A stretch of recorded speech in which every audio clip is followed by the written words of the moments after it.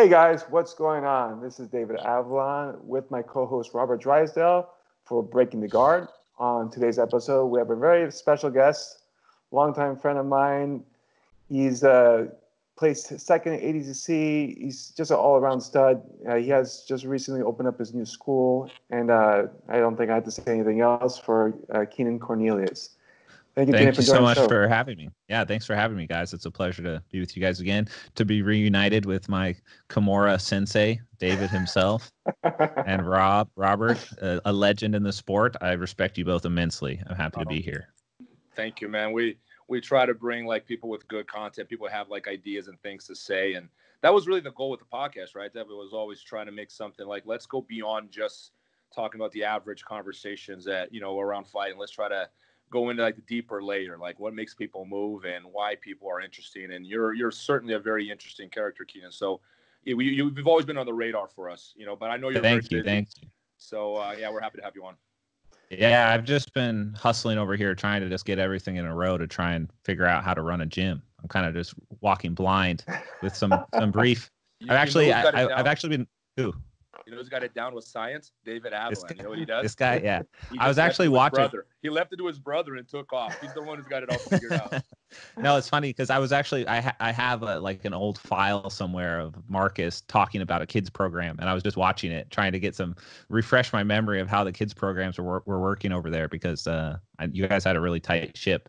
Well, I remember when I came down to Miami, we did that um, there's like an instructor training course we went yep. through and we kind of saw all the different moving parts of the situation that was that was like one of the most defining factors of like how I teach and like how I do things and it it was uh, incredibly helpful and I still use a lot of those little tricks today like helping people on the mats. Was, I thought it was especially cool how you guys went into detail on actual person to person communication, not just like how to run a business, but like actually how to deal with people from like almost a psychological standpoint, but approaching it in a layman's term terminology that I could understand as a 19 year old back in the day.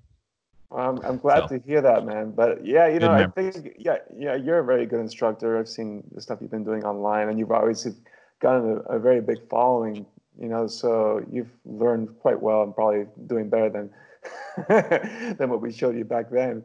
But i think it is something that a lot of people don't do which is practice how to actually teach how to communicate because it's very different from knowing how to do the techniques yourself to being able to teach it to somebody else.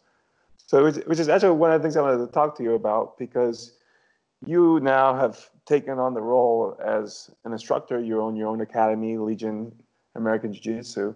And uh, I found that, at least for myself, and I think Robert could attest to the same, that when we take on that instructor role, that your technique actually cleans up a lot more, as well as like your understanding, just because you have to break things down to other people who might not get it like you do. And then you start seeing like the moving parts yourself, and it allows you to expand on the technique. I know when I was teaching Kimura Trap and I was teaching, you know, guys like you and Jason and all that, like I got a lot better at it. And then I also learned from what you guys were doing. I'm like, oh, okay. And it kind of a, it's a very like positive uh, experience. So I don't know what, what's your take on that? Like, how have you felt now switching into that instructor role a bit? Yeah, I, th- I think, um, I definitely notice all those things you're talking about. There's definitely something to be learned for, as an instructor. Like you learn so much from the experience of seeing what people struggle with as far as the understanding of jujitsu. Things things that may come naturally for me that I didn't have to think about when I was a white belt. It brings you an awareness of what people actually need if you're trying to impart knowledge for the sake of knowledge itself and not to take like someone who's talented and like sculpt their talent into something slightly better, but like someone who's actually a total blank slate. How effectively can you teach that person effective jujitsu? And I noticed probably the, the the biggest changes in how I approach teaching come from teaching white belts. Because we I personally was kind of ingrained in this idea that you had to teach the traditional basics of jiu-jitsu like Gracie style stuff right? Like the close guard stuff like the basic triangle stuff. Like we all saw that or I did at least in my generation of coming up through jiu-jitsu it's like I was exposed to a lot of those basics. And personally i kind of skipped the basics i just went straight into like fancy stuff as a white belt and blue belt and well green belt actually went back in the day i focused a lot on the cool stuff i was all about flying triangles and all, like anything wild that I could pull off, I'd go for it. And I didn't I didn't actually start learning actual fundamentals probably until around brown belt. Like I was just kind of mm. just making it up as I went, learning some basic guards like spider guard stuff as a purple belt. But then when I started actually um, reassessing my focus at brown and black belt, I focused primarily on fundamental stuff.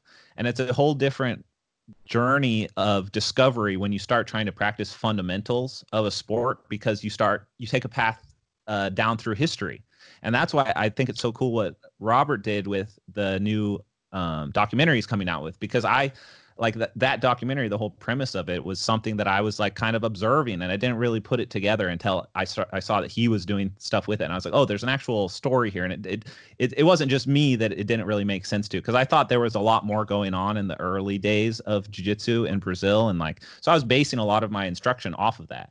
Uh, but as like I, I looked more into it and I started getting into judo more and like other di- grappling disciplines like wrestling and sambo, you can find a lot of fundamentals that kind of are on a, like a spectrum of these different arts and sports and you have to teach all of them still and so i guess i've been trying to incorporate that and i by no means have like a, a, a resolute system for teaching basics now but definitely the biggest learning experience for me is kind of exploring basics again over and over again with brand new white belts and i i, I find it very fulfilling because learning fundamentals feels new to me because I've spent most of my jiu-jitsu career making moves up or just like kind of playing with really fancy moves that other people had seen. So it's it's very refreshing. I enjoy you, you know what? Uh, one, one thing you just touched on, and you know, I, I I have a I I think that we all start with a hierarchy, right? A fundamental goes first, sophisticated comes later.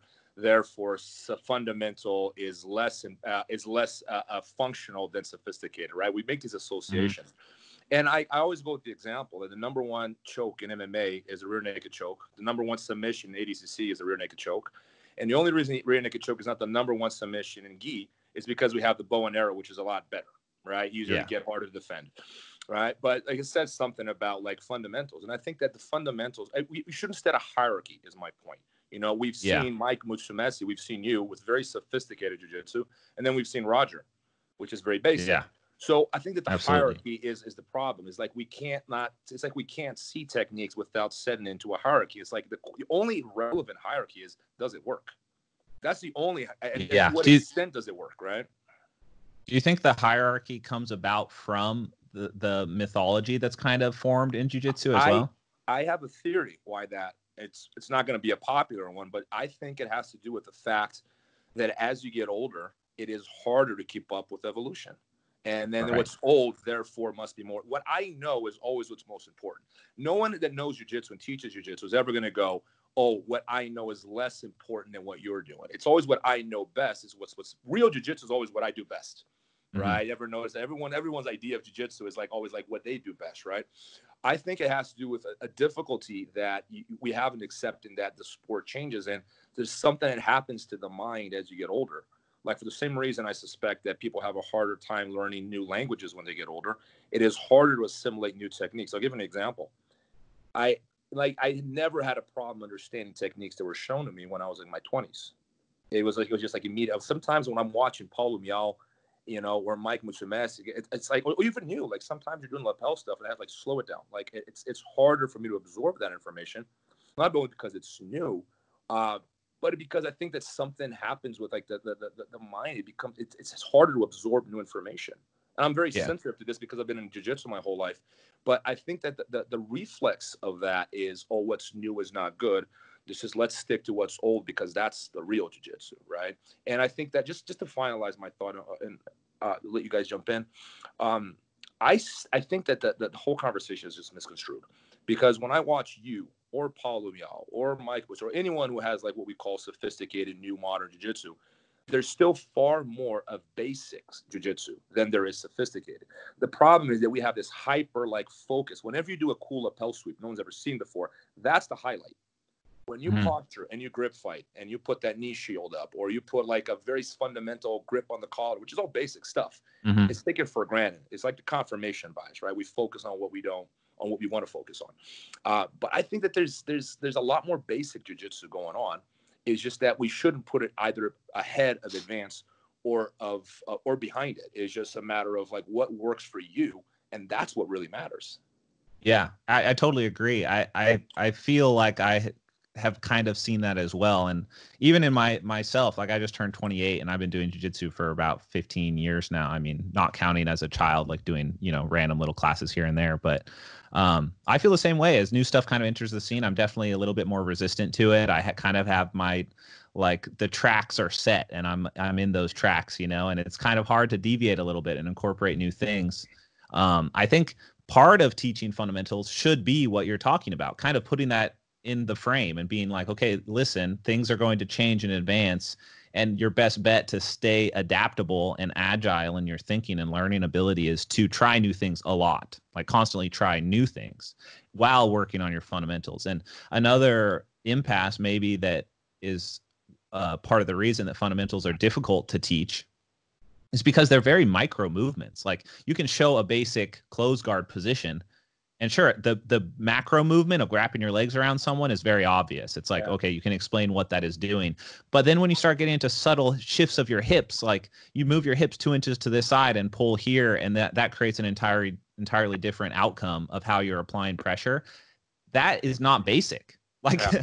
like it's a part of the basic position but it's an incredibly complex thing to articulate or to even do. Like that, that there's a reason that Roger has the best close guard and my close guard sucks and it's because I don't have the same knowledge that he has from close guard. There's subtle minutia in his body movements and his muscular application of gripping and twisting and creating weird little leverage points that I do not possess and I it's very difficult to observe them like it's one of the things that you can't analyze. Like I've been doing this breakdown show for F- FloGrappling where I like draw on the screen and like try and analyze stuff, but you can't analyze those movements. It's all obscured by a gi or like clothing, right? You would need like an X-ray vision of their and and then like an alternating green red of like which muscles are activated and which aren't to actually be able to identify what is happening. I agree. And I think I think that's a huge disconnect as well. And something that made me circling back to fundament, fundamentals it made me appreciate it so much more because as I learned as I got into brown and black belt and I started understanding pressure a little bit better because for a long time I did not have pressure. Like I I could win matches, but I would always lose the back, I would lose side control, I would lose mount. I didn't understand that idea of like these subtle motions and inch like movements that make huge advancements in your actual tech technical application.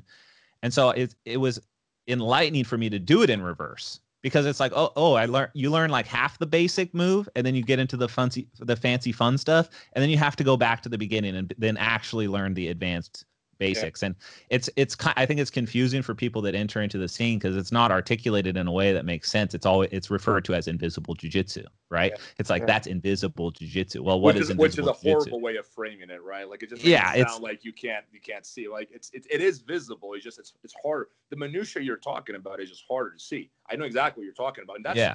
to me that's the definition of technique is like how intelligent you can use this minutia because it's hard to explain to to to, to anyone really yeah, I take. Yeah. I, I, feel like just to understand that concept, eh, you need uh, like five to seven to ten years of experience to be like kind of put this together that that's what your body's even doing. You know, it just feels so natural right off the bat.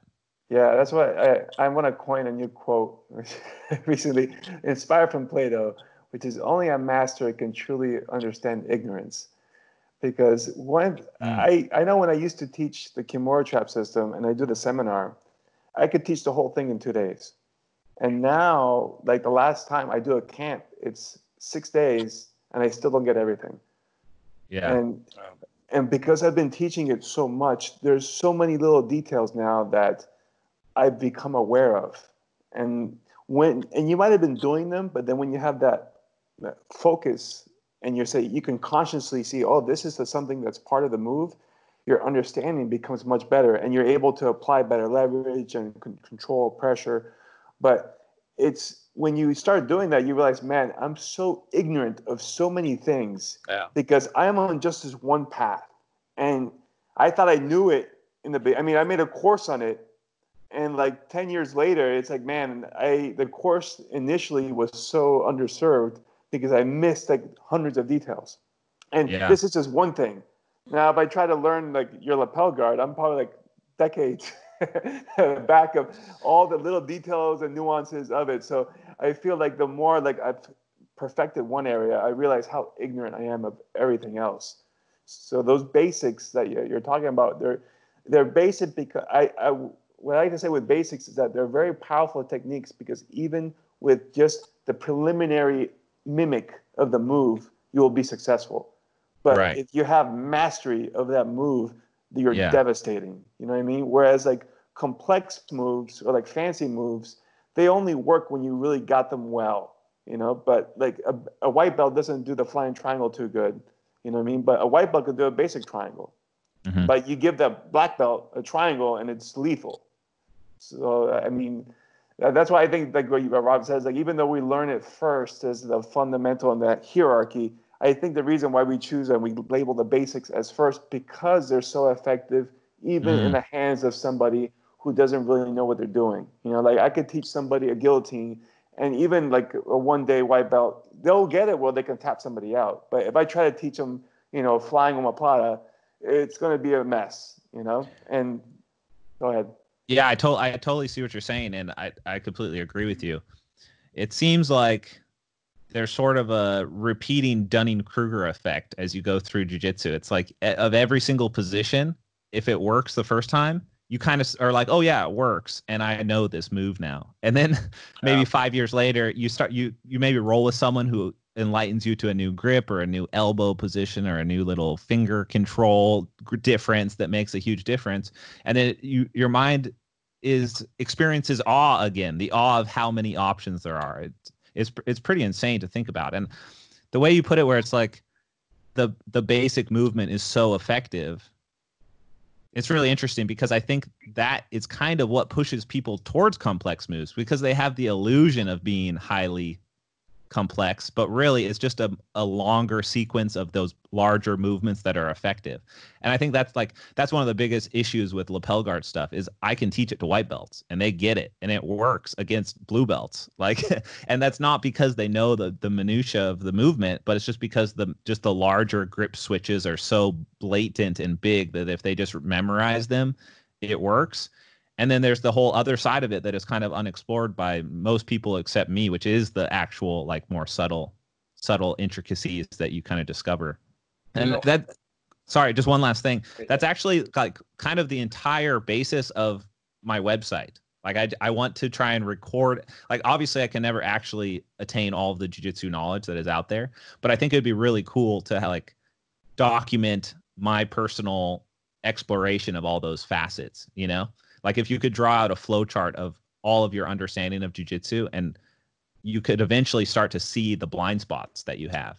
And then it would become more and more apparent where you are missing that information. And then I can actually go and address it and focus on that myself to keep my own learning progressing at a at a at a rate that I'm happy with. Because if you don't document what you know, you're just like holding it all up in your brain and then like i know you guys for, for sure experience this you probably you, there's positions maybe a student asks you about that you haven't been in in six years because you just don't yeah. worry about that position anymore but yeah. the second you're in the position all of the the information comes flooding back and you're like oh yeah and then also this can happen and then also they can counter like this even if you haven't experienced the, the move in forever and if they hadn't asked you that question you might have just left that information dormant forever so i think it's really important for guys like us who have been around for a while and obviously you guys have been around a lot longer than me but i see this already so you guys are probably experiencing it on an even higher level is just like really taking store of what you know because it, the learning doesn't stop. Like that's that's what keeps us doing jiu-jitsu. It's like no matter no matter how sick of jiu-jitsu you are you've been doing it forever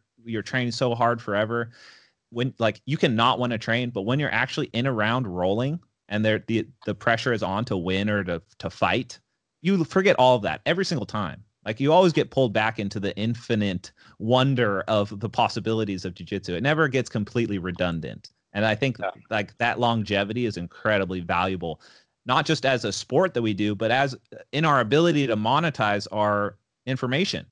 Like you, yeah. you, we need to be able to document it and show people just how vast it actually is, because otherwise they just default to the mythology like that has come to exist, and it's just like all, uh, probably it's covered so much in uh, Robert's documentary. But I think it, I think it's incredibly fascinating still to this day, but that like the more I think about that and the more I teach, the more I lose interest in the actual competitive aspect of jujitsu and gain interest in the intricacies of it and trying to pursue that knowledge so that I can teach it better as well. You know, you, you actually touch on so many different, you know, things that we there's so many different ways we can approach this.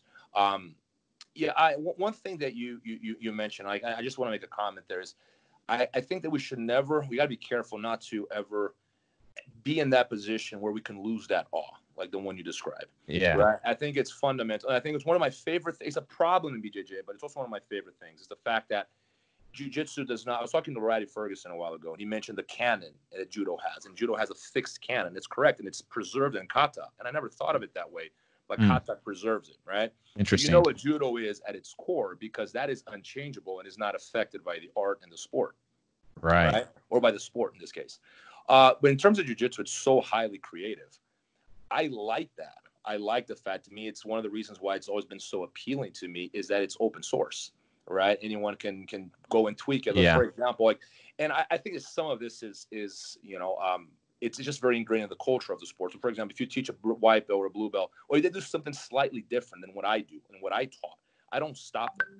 You know, in fact, the, the attitude is normally like you, and if it's working, you give them the incentive. Like I say this, at least for my speaking for myself, I always say this when I teach: is if you do it different it works for you, then that's that. Like there's this should not be like there's no yeah. doubt that there's no right and wrong. I don't even like to use the word words right and wrong in jujitsu because too often have I seen what is technically wrong work. Like yeah. I was taught not to cross my feet when I armbar. I do it all the time. It works better. Yeah, you know, I that's mean, a that's was, a huge example of one for sure. I, I, cross my when I'm on the back, I cross my ankles all the time. And everyone's like, "Why would you yeah. get full lock?" I just cross it by the belly. I don't get full lock. It's much better control, and I never slide off the back. I stopped sliding off the back as a black belt when I finally started crossing my ankle. right. Know? But it was because like dogma has this power of like it just has a, such a, a, a, dominant presence in the culture of the sport permanently. And the longer it's been around, the less question it is, and the less question it is. Well, it's holy now at this point because it's always been said, right? So it must be true. Right. And it's it's almost like you you you you prevent the sport from evolving when you have that sort of mindset, right? Yeah. You know, yeah. That, that's one of the benefits. yeah. Oh Okay, yeah, it's one of the benefits I think my brother and I had because we didn't really have a sensei or an instructor when we were starting. There was nobody saying you're not supposed to do that for this reason, right? Like, so mm. we were very self-taught, and so in in one way, it's slower growth, but it's unlimited in the sense that we weren't told, oh, you can't cross your ankles behind the back. You know, like we learned everything you know, like reinventing the wheel, so to speak. But there is something to be said about that approach because you gain more understanding. You know, you learn, well, if you cross your ankles and they're too low, you're going to get footlocked, you know, or if you do this, you're going to get this. So you learn the reasons of why the rules are in place. And then sometimes these can be challenged, right?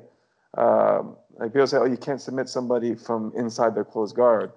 That's not true. You, you can. There's, I know a bunch of ways of doing it but it, but normally that would be taboo, right? If an instructor saw you trying to wrist lock somebody or kimura someone from the guard, to be, what are you doing? You know, you're. And they would Wait, you can kimura someone from inside their closed guard? Yes.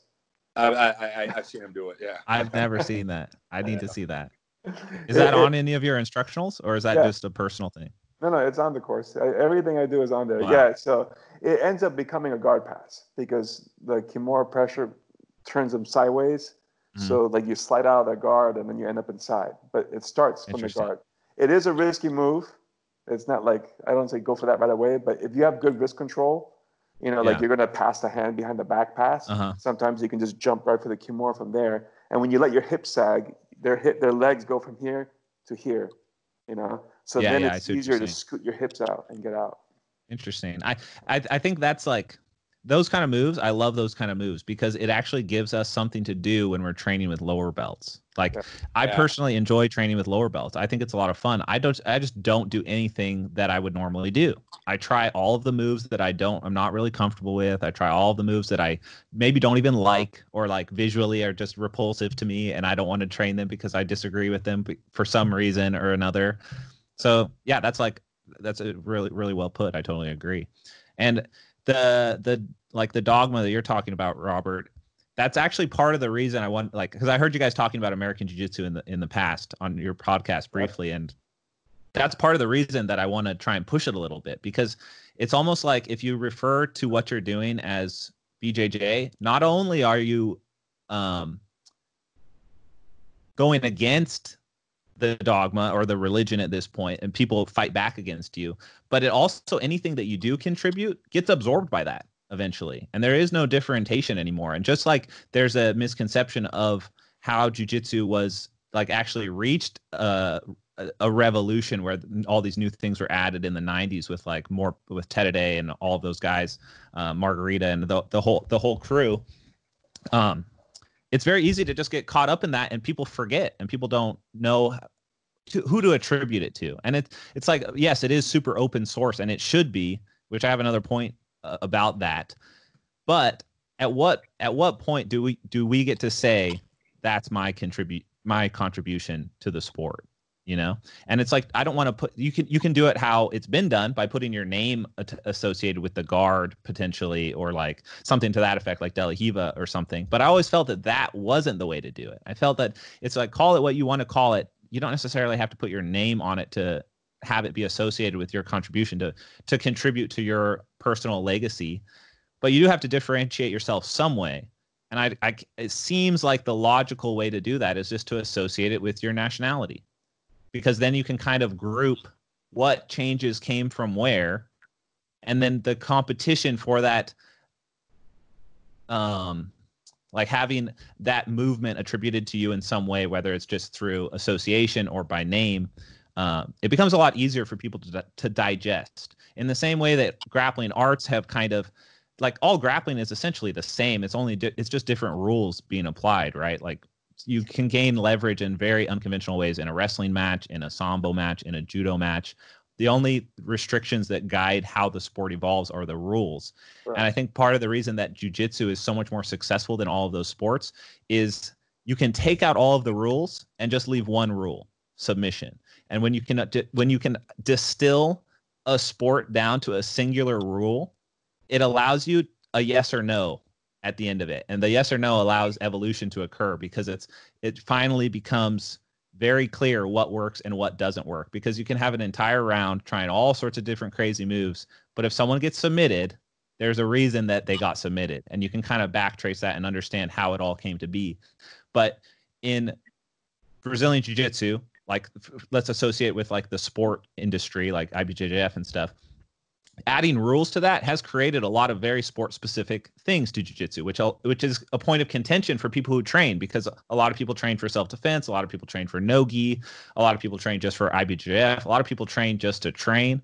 And you guys know as well as I that there are highly specific rules that completely change the way you grapple like to a point that your very instincts get changed based on a set of rules. Yeah. Not nec- and not necessarily even a set of rules. And in particular, I'm talking about like maybe you get an advantage to make someone turtle, or you get an advantage for exposing, uh, exposing, or uh, passing someone's guard, and they turn away, and they'd rather take the advantage than the guard pass. And then an entire system of back attacks comes off of passing the guard because you know they're always going to turn away but they're only going to do that because they've been trained to do that because they know that if they don't turn away they there's a there's a incentive to turn away. It's less points scored on you. And so that creates an entire subsection of uh, c- competitive jujitsu that is separate from what a lot of people recognize. Yes. And I think, I just don't think it's a bad thing to have subgenres. Just like in any other culture, there are subcultures, whether it's skateboarding or music or surfing or like and then subcultures within the subcultures like in music there's jazz and then there's blues and it's like those things kind of came from each other in, in some capacity. And i think jiu-jitsu can be this the same. But if you always encompass it back to the original defining thing of music or of bjj when when bjj is kind of a misnomer because it's more jiu-jitsu just just jiu-jitsu because i mean we we see that through what was available before it came to brazil it it seems constricting on the very idea of innovation that we're talking about. So to to unrestrict innovation, you you need to allow the different styles to have their different names, and it's not like American Jiu Jitsu is not the idea of like putting a stamp over the B with an A by any means, and it's also not to set entirely as associate a, a group of techniques that was developed in a culture of people, the American culture of jiu-jitsu, that has actually become quite substantial. Eddie Bravo, my stuff, the Danaher guys, your stuff, like Drysdale stuff, all of that is encompassed in some capacity as the American genre of jiu-jitsu. And it doesn't, it's, it's not trying to lay claim to anything else. It only intends to be what it is, which is a classification more than anything. And then the secondary idea behind it would just be so I can actually represent my nation, which I think is important. It, on it, on a global field of competition, I am not an American Brazilian jiu-jitsu practitioner. I'm an American jiu-jitsu practitioner right?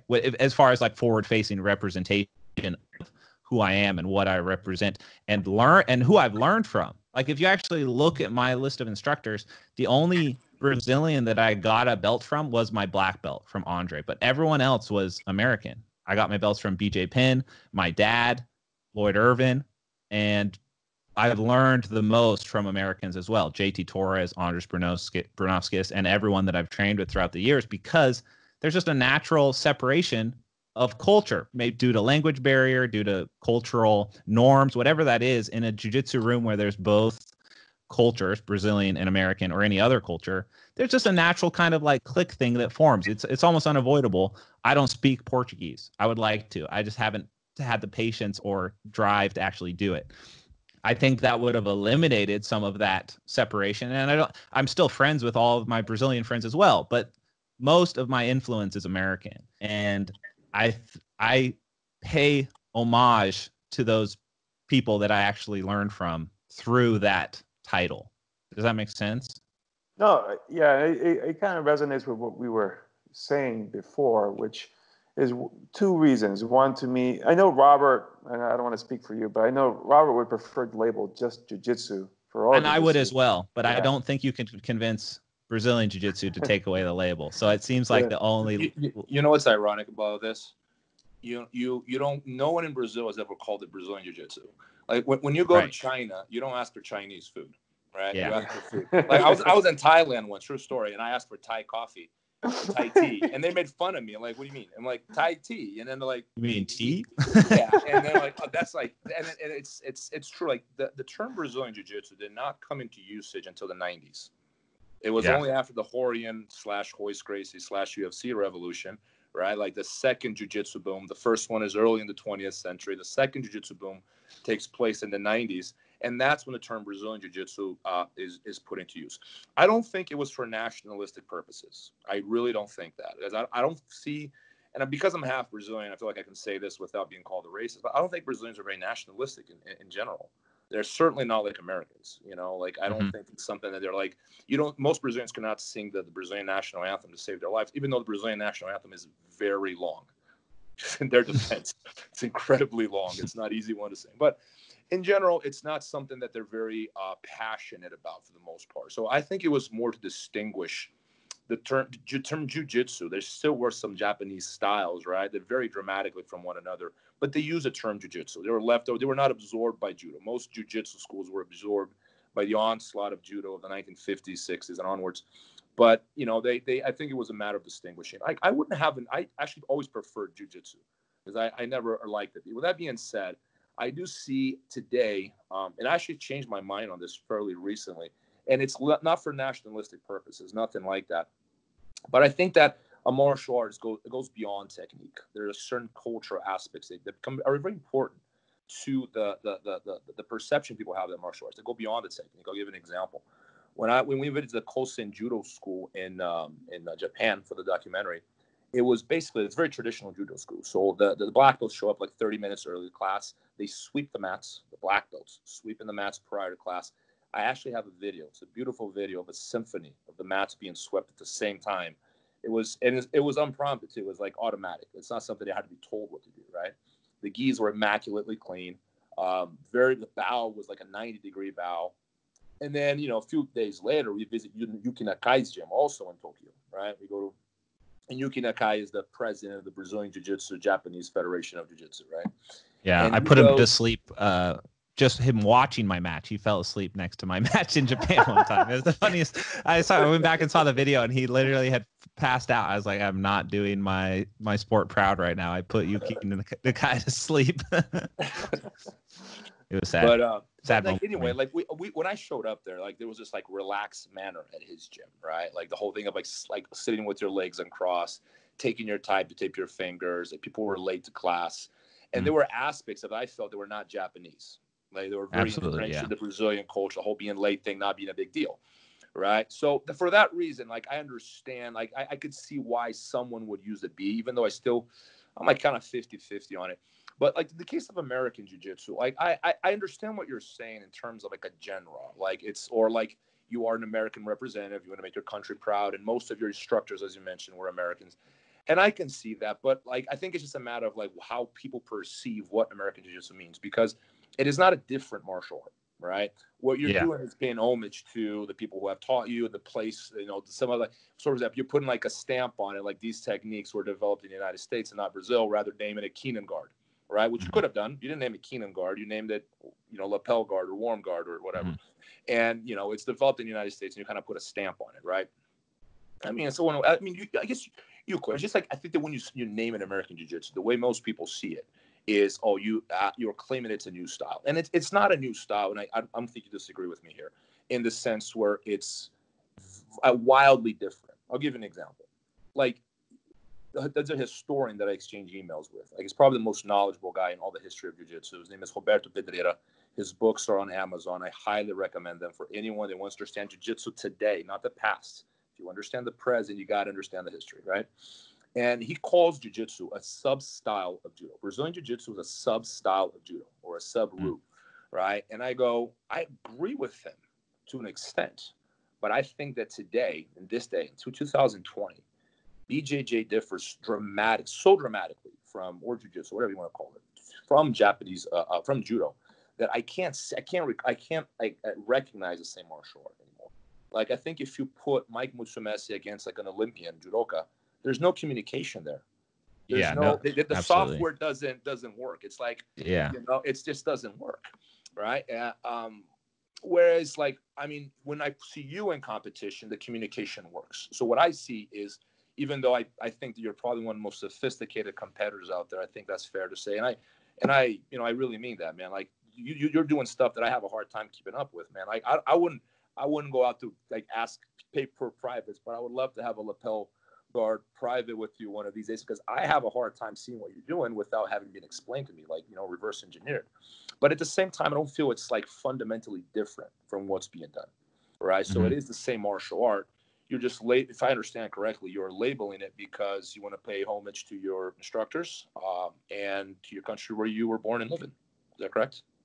Yes, absolutely. Um, yeah, if American Jiu Jitsu was a new style and it was based around lapels, that would be a very boring situation to watch. Already, it's pr- it's frustrating to train with uh, my students because some of them start using lapels on me, and if I use them back, it, it doesn't work. There's it just you just reach an impasse where there's no more opportunity, and it just kind of destroys the entire thing. So. I would say let it's less of a new style and more of a highly specific counter to jujitsu, which also works in the acronym as anti-jujitsu. AJJ. so I'm willing I'm willing to concede the American and go to anti yeah. in the event that I uh, you justify it in that way. So I relinquished the American in our situation is now anti jiu-jitsu. you have an argument against that? Oh man, like I will say this, I've had blue belts hold me in that lapel from 50-50 or the one you oh, wrap the leg. And, and I had nothing is, to do with that one. And, I, and, the grip is underneath the knee, right? So you can't yeah, really can't fight them. And I'm going, I don't know what to do. And I, I've actually had this argument with IBJJF more times than I can count. You guys got to stop the fight at that point. And that reset. position should be illegal. I totally agree. Because there's, there's, I mean, I've had blue belts hold me there. They're like 30, 40 pounds lighter than me, and I can't move. Like there's nothing I can do other than like I want to punch him in the head at this point because I'm losing my patience. Right? There's nothing you can do to. I mean, I'm sure there's like some, there's some way of getting out there, but it's it's it's such a wrap right? And there's no purpose to it. So like my my criteria is anytime there's no purpose to yeah. what you're doing, we got to do something to stop it and reset. Or if the purpose is to hold, to not have purpose. Stall. If oh, the purpose yeah. is to not yeah. have purpose in that moment to exactly. stall, it's like that shouldn't be allowed. I totally agree. But I mean, it's hard to it's hard to justify because like once you start taking away things, you can't really put them back. you know so if it's not like incredibly damaging i would be I, i'm i'm more for less rules than more rules just because i think the second you start putting rules on it does limit future opportunity because from what i understand about lapel guards which are pretty much on the cutting edge of new I would say because it's, like there's so much now. Now I have counters for counters to lapel when people still haven't figured out the counters originally. like I've I've taken it like more for like further and more abstract than it needs to be at this point. Um, I think what I've seen from like very tricky positions in worm guard spots that should feel that do normally feel very locked and like you can't do anything. It's like, well, this doesn't seem fair because there's no option there are options usually.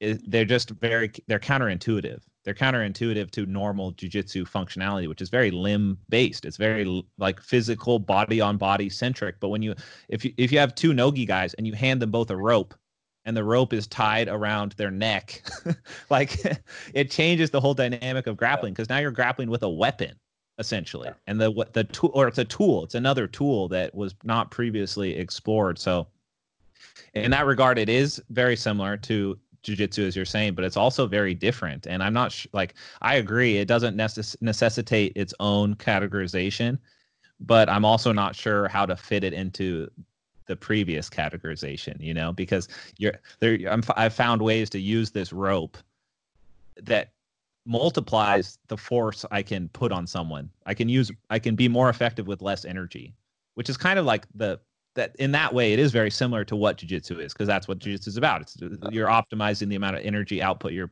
you're using with with maximum effectiveness so yeah i'm i'm not super tied to the idea. More than anything i just appreciate that people acknowledge it at all. I like i, I would think that people just ignore that i even say it because it is it it isn't really grounded on much. It's it's a it's a seedling of what i intend the future to hold and the direction i'm taking it and the direction that i want to have like teach in, which really just pushes the whole innovation point, anyways. Like the only the only downside I see about traditional Brazilian Jiu Jitsu is just that there is some li- limitation on innovation. And the limitation comes from a psychological standpoint. Like you were saying, people like just an old dog doesn't want to learn new tricks. Um, to the rule system that limits innovation, like adding rules to a position that kind of like we'll never know the actual counter because we've not, we, we eliminated the problem with a rule instead of with a counter. Um, and like I saw, I, I did a breakdown on a match yesterday of Meregali versus Felipe Pena, and he Felipe Pena kept putting Meregali in 50-50. And I was like, okay, yeah, 50 50, it's kind of been solved now. It's like a, a high level black belt knows how to get out of 50 50 pretty effectively. It's no longer considered a super stalling position. People will go for it, but there's a pretty effective counter. You you underhook both the ankles and you bring it to the other side, and the position kind of falls apart.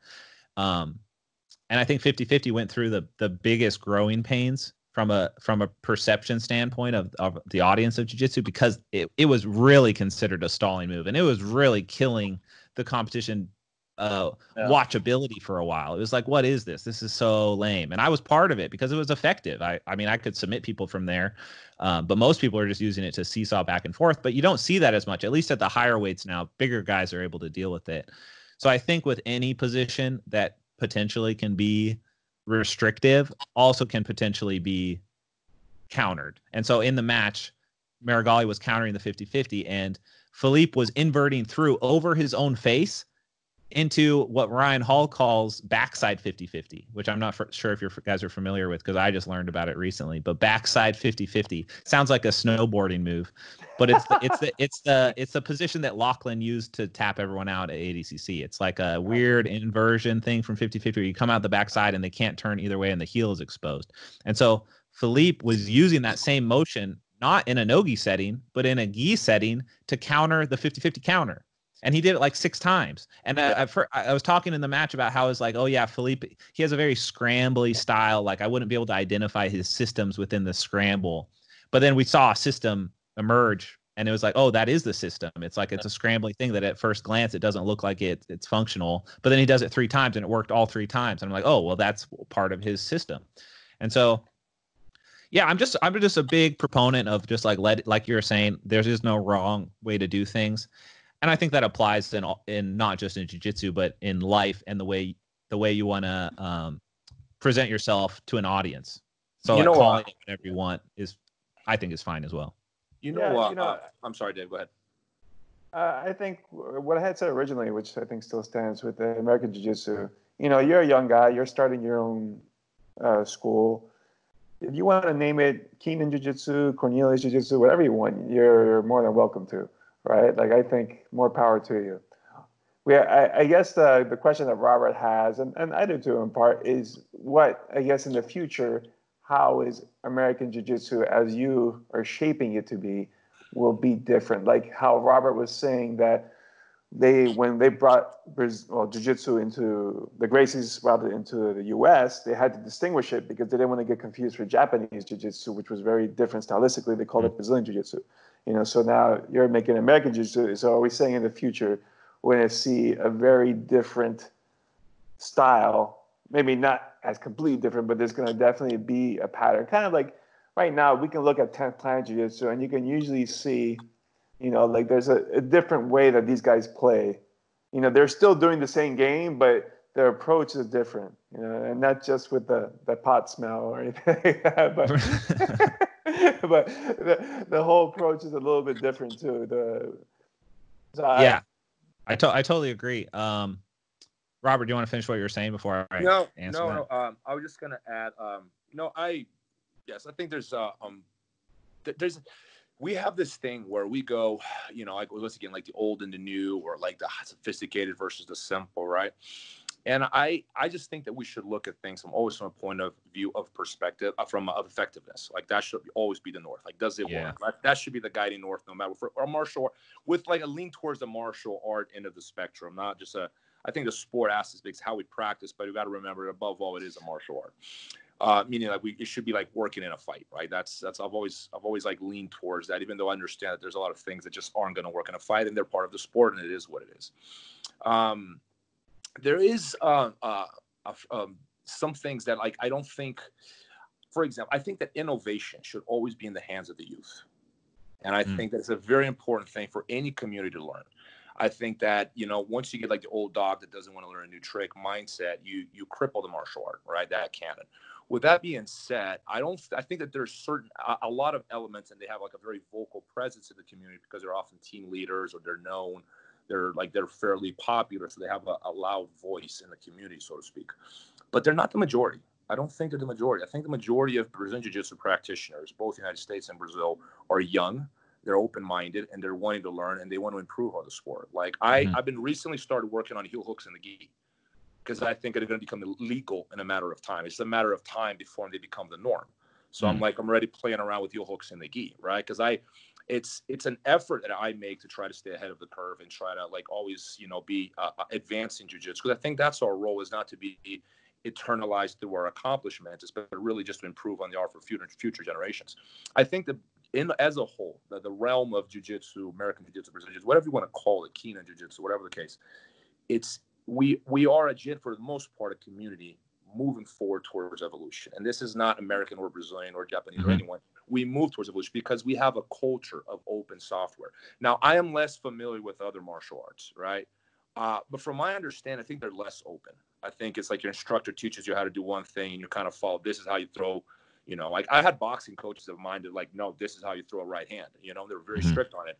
And me, I, I'm not that familiar with boxing, but I do see an overall pattern in BJJ for innovation, right? I think that the old dogs that don't want to learn new trick, they're really the minority and they're a dying breed. I think that, you know, younger generations, their generation is retiring now, like my generation, like Cyborg and Braulio. I don't see these guys going 10 years from now. I know that I won't, right? But like 10, 20 years from now going, oh no, that's not real jujitsu because I think they're open minded enough. That's the majority of the community. So yeah, I think that innovation is always should be the, the, the guiding north, regardless of you know what we call it or you know or anything. It's just effectiveness and innovation. Okay, so um, I, I totally agree with everything you guys are saying, and there's just one more layer to the American Jiu-Jitsu thing. I want to get your both of your opinions on. Okay. So one of the str- the struggles that I see that I didn't personally experience this at coming up through grappling through just happenstance, industriousness, uh, being fortunate enough to be around people who kind of sh- showed me a little bit behind the curtain of how sales work and like understanding that there's more to know than just like jiu- jujitsu. That helped me immensely in actually being able to make money with jujitsu and like actually have a life like outside of jujitsu. You can't do it only with jujitsu. Like you can study jujitsu as hard as you want. You can be the best guy in the world, but if you're not applying your skills into another realm in some capacity, whether through selling it or teaching, uh, which is also selling it, or any sort of way to actually monetize it besides making money through competing, that's an incredibly difficult thing for people to do for whatever reason, whether it's just ignorance or they just uh, apathy. All of my peers that I grew up with, literally grew up with training and competing, searching for the same goal. All of us had the same goal. Same goal was black belt world champion. Plenty of my friends became black belt world champions. I did not. I'm a I'm a no-gi world champion. I don't count that personally. I think the best I've done in gi worlds uh, is third place in the absolute. I think. I think. I, I think I placed once in my division in in third. Series of unfortunate events. I don't want to get into it. It's it's too painful.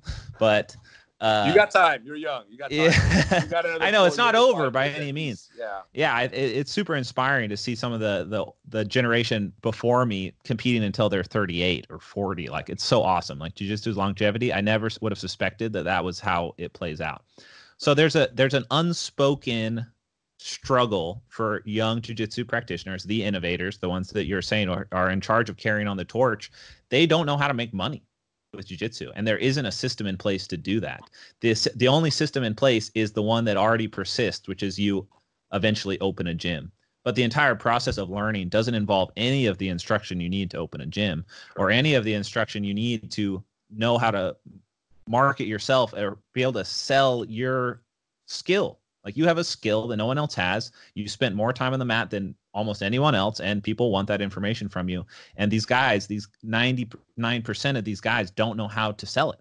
And so how can they there's no future for them. And in, in, in you could look at it in a way that they do not have a future in jiu-jitsu that they will not the future it's not that they don't have a future it's that they could have a better one.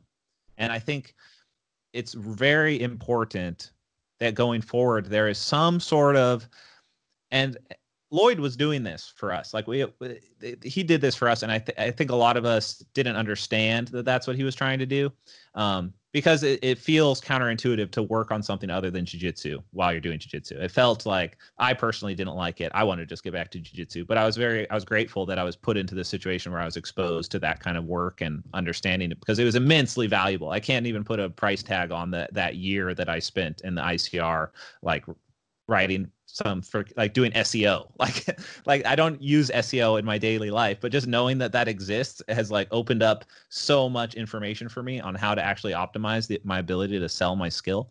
Um, so American Jiu-Jitsu versus Brazilian Jiu-Jitsu. I think that there actually is a competitive edge to calling it American Jiu-Jitsu if you are American. And that's because how can you compete with a Brazilian who has better skills than you, they might actually be better at jiu-jitsu than you. Maybe they're not a better teacher than you, but they might have better skills than you. The sport is called Brazilian jiu-jitsu. To anyone who enters the sport, it is considered Brazilian jiu-jitsu. And if there is a Brazilian jiu-jitsu gym on the street taught with a Brazilian instructor versus a Brazilian jiu-jitsu gym taught with an American instructor, there's two sides to that coin. One, the guy's Brazilian, so there's a there's an uh, connotation that he probably knows Brazilian jiu-jitsu better. And then the other side is that maybe the American guy, it's English is his first language. And what is more important, the ability to articulate more effectively or the guy who is associated inherently with the sport? And so regardless of if that is a large or a little advantage or none at all, I think it it it deserves concern for American grapplers that are that don't know how to monetize their skills. And so I think, and this is just a hypothesis, that if there is some separation between the two, based on if you're American or Brazilian, there will be more success for some of these up and coming American guys that still don't do very well in competitions. Like to this day, even though there's probably probably an equal amount of Americans doing jiu-jitsu as Brazilians, would you guys agree on that? Are we approaching a halfway point maybe? Uh, no, I, or? I, I think you made a very good point. Like, you know, it does like this is actually a problem, something I noticed, right? Because coming from Brazil, you know, I know who's who over there. I've ninety percent of my competition experience was in Brazil, so I know who's who. And then mm. watching some of these guys when they land here, you know, and then it's like all of a sudden they're grandmasters. I'm like, I know who you are, right? You know? but but they but they speak with an accent, and it helps because you're right. Like I've had, you know, I think that it gives them a like it's like for, for from Thailand and you're teaching Thai boxing. Yeah, exactly. I would want to learn like, from a Thai guy. Not for sure. the case. It does because you're from Thailand does not make you a good Thai boxer, and just because you're American does not mean you're a good Thai boxer, right? Yeah. But like the the the the, the crowd does not have the ability. If you're if you're new to this, they don't have the, the the critical thinking to be able to distinguish. It would be like five six years before they figure it out, and when they do now you have that loyalty thing, right? You've created too yeah. ties in the gym. So. Exactly. As well as the the the Brazilians still dominate the competition circuit. Like there are really good Americans for sure, but there's more Brazilians on the podiums to this day still. So if you you can go and literally look at results, right? And the results say that the Brazilians are better. And to, that could be true. However, that doesn't mean that we should be excluded from the the potentiality of monetizing our skills as Americans. And it honestly could have a, a, a, zero effect, but I wouldn't be willing to risk it. You know, when it comes to your actual potential of success and actually ha- living comfortably and reaching your ceiling as far as I mean, if there is a ceiling for you, which hopefully there isn't, uh, reaching that point of where you're like feeling like, okay, I'm moving up in the world. It's like I spent 10 years on this skill and it's finally paying off. You know, if you spend 10 years on it and then you wake up one day and you're like, fuck, what do I do now? Which happened to a lot of people when coronavirus hit. And a lot of people have been messaging me. Uh, you're feeling that too? yeah, I think we all did, right? Considering different jobs, like right. I think we all were. We were like, damn. Like, I, I mean, I know I was. I was like, I just sp- like sunk my life savings into this building that I don't own.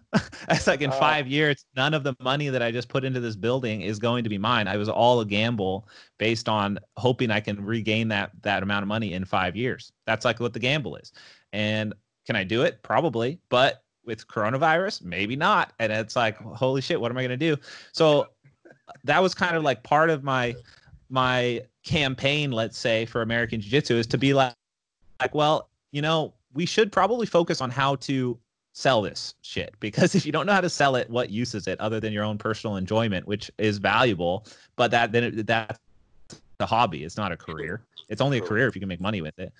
So that what I do now is like as I kind of learn these things and learn about running a gym or like selling instructionals or I mean anything like learn learning about the stock market, for instance. Like I, I have money now, I can actually invest in the stock market. That's it's a valuable thing for me to learn about. Or like understanding like what a mortgage is or what a like an IRA is and or like what a 401k is, like what what it all is. I didn't learn any of that stuff. I dropped out of high school. I like they don't teach that in high school. Like how am I how was I supposed to discover it except experiencing it on my own? And so kind of part of my program which is pro- essentially the the whole fighter house program that existed that I went through is it, I think it kind of follows the same idea is like try and give something to these these kids who love jiu-jitsu so much and you appreciate their love for jiu-jitsu but then you also know the pitfalls that they're going to experience and the pitfalls of life that jiu-jitsu is leaving them woefully unprepared for. And so the American Jiu Jitsu name also, I would like to be synonymous with kind of changing that situation. And so what everything that I do now for the, the gym, even though it's like I'm focused on the gym's profitability and it's like success and all of that, I'm trying to present it or create it in a way that leaves an avenue of opportunity open for my black what is that opportunity going to be well i mean there's a lot of different ways you can do it. I, I can help them without them needing to learn how to uh, to fish let's say like you can open affiliate gyms with your students or help set them uh, like do affiliate products with them they wouldn't really have to do anything. You could set up a system that just lets anyone sort of plug their information in and you can help them with it. Or you can actually teach them how to build their own thing and in the process of the, that's what happened to me is like i was helping lloyd build his thing on whatever microscopic capacity i was able to at the time and learn from it. And that small situation where i was helping build lloyd's thing set the seed to help me build my thing. And so if you're not incorporating that into your jiu-jitsu gym for your students it you're i feel like you're just not necessarily doing all you could as an instructor if these guys, if these up and coming students, their goal is to make jujitsu a full career, and you're not providing the career opportunity or the career education in some way, and then it, like, how do you make that work? There's like, because it always comes into like the value given and taken. Like, what value are they bringing? Uh, can you justify it? Can you take a hit in some way and still have it pay off and be mutually beneficial? And that's all to, remains to be seen.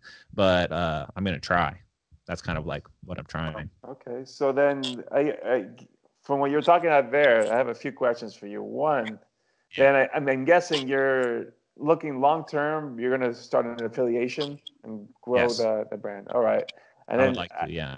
And then the next thing, which I think might be helpful for you, as you were saying, all the competitions are Brazilian Jiu Jitsu for the most part, besides ADCC or, e, or the EBI. Uh, I think what would be helpful for you if you started an American Jiu Jitsu tournament circuit. Because yeah. then you have, and you can make a differentiation with the rule set, you know, whatever right, that right. might be. Because now you have a venue for American Jiu Jitsu versus yeah. a guy who practices AJJ but competes in BJJ. Because I could see that being a little bit confusing from like just the normal thing. things. Like, why are we doing this and yeah, yeah. the other rule set? You know, so absolutely. Just something throwing out there do you think that is more valuable from like a function standpoint or like a perception standpoint? Like does the effort that goes into starting an entire new like if i'm going to do it i would try and do it right and start an actual like an american jiu-jitsu federation or something and start a circuit and do the whole thing um i just don't know if i have time. I don't know I, if i, I can do you, it. yeah it is really a lot of work. So yeah, probably not imagine. worth probably from where you're I, at right now, it's probably not the best. Yeah, it's a long way. It, well, it's a long way off, regardless. But it's not something. It definitely can't be disregarded. I actually consider like part of the reason I got such a big gym right off the bat was because I had the intention of somehow holding some sort of event in there. I, I intentionally got a space that I can fit um, th- three by two IBJJF mat, so I can have the full six mat layout. I could have tables. I have room, and I have room for seating. And that was my kind of my idea, maybe to potentially work into like a small scale version of what you're saying. Yeah. Um, and already, even with that setup, even with a not having to worry about a venue, it's way too hard. As this moment, it's like I don't even know where to begin. Um, but yeah, I would be I'd be open to that for sure. Yeah, it, it, it's a lot of work to run tournaments. I know, like my brother and I, when we opened our school, we had actually run tournaments to get the initial capital to start the gym. Oh, really? Nice. Yeah. So my brother and, and was I were. It, was it profitable? It was. So we started, man, in 1999 and what we actually did, I started training MMA or NHB in 1999, and like within the first few months of training, I was already fighting. But we were doing shoot fights, you know. And in Florida, we did like three of them, and then like in 2000, 2001, they outlawed uh, mixed martial arts. That's when they coined it. So we weren't able to host our tournaments anymore, and that's when we switched to grappling because we're like, oh, we can't run these events anymore. We got to change the event. We okay, we could do you know submission wrestling, what we called it, mm-hmm. and then we did like eight events like that.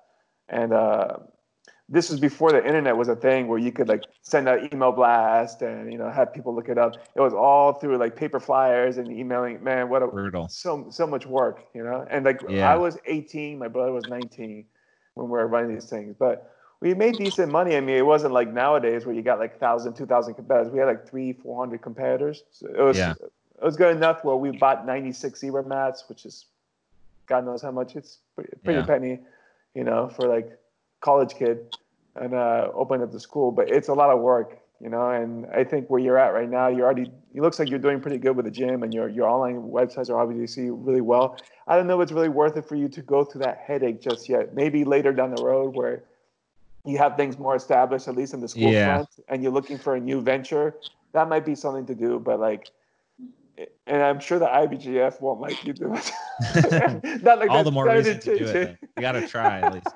Fight the power hey, a little bit. Hey, hey, let me ask you something real quick. You mentioned about like training all these kids on how to market themselves and make money. And like, mm-hmm. man, like by the way, if you ever start a one-on-one all that, like, let me know maybe it's not too late for me. like I suck at marketing, but like well, I, honestly, I, I to be honest, it's not me. I I I I just recognize what I don't know, so I can hire people. So I actually have a team of people that deals with it. That's hiring the right True. people. That's a that's a very good skill, which I don't have either. But, and I'm uh, not honestly. I've made some mistakes hiring some people as well. But uh, you know, because it, it is, it's become such an important part of BJJ. You're right, the ability to make money. Because if you're going to be, you know, doing this for a living in a highly competitive sport, when there's like a new gym popping up like in every corner every other week, mm-hmm. you know, you're going to have to figure this out. My question to you is: You think that we are reaching a point of saturation, or have we? Will we reach that point?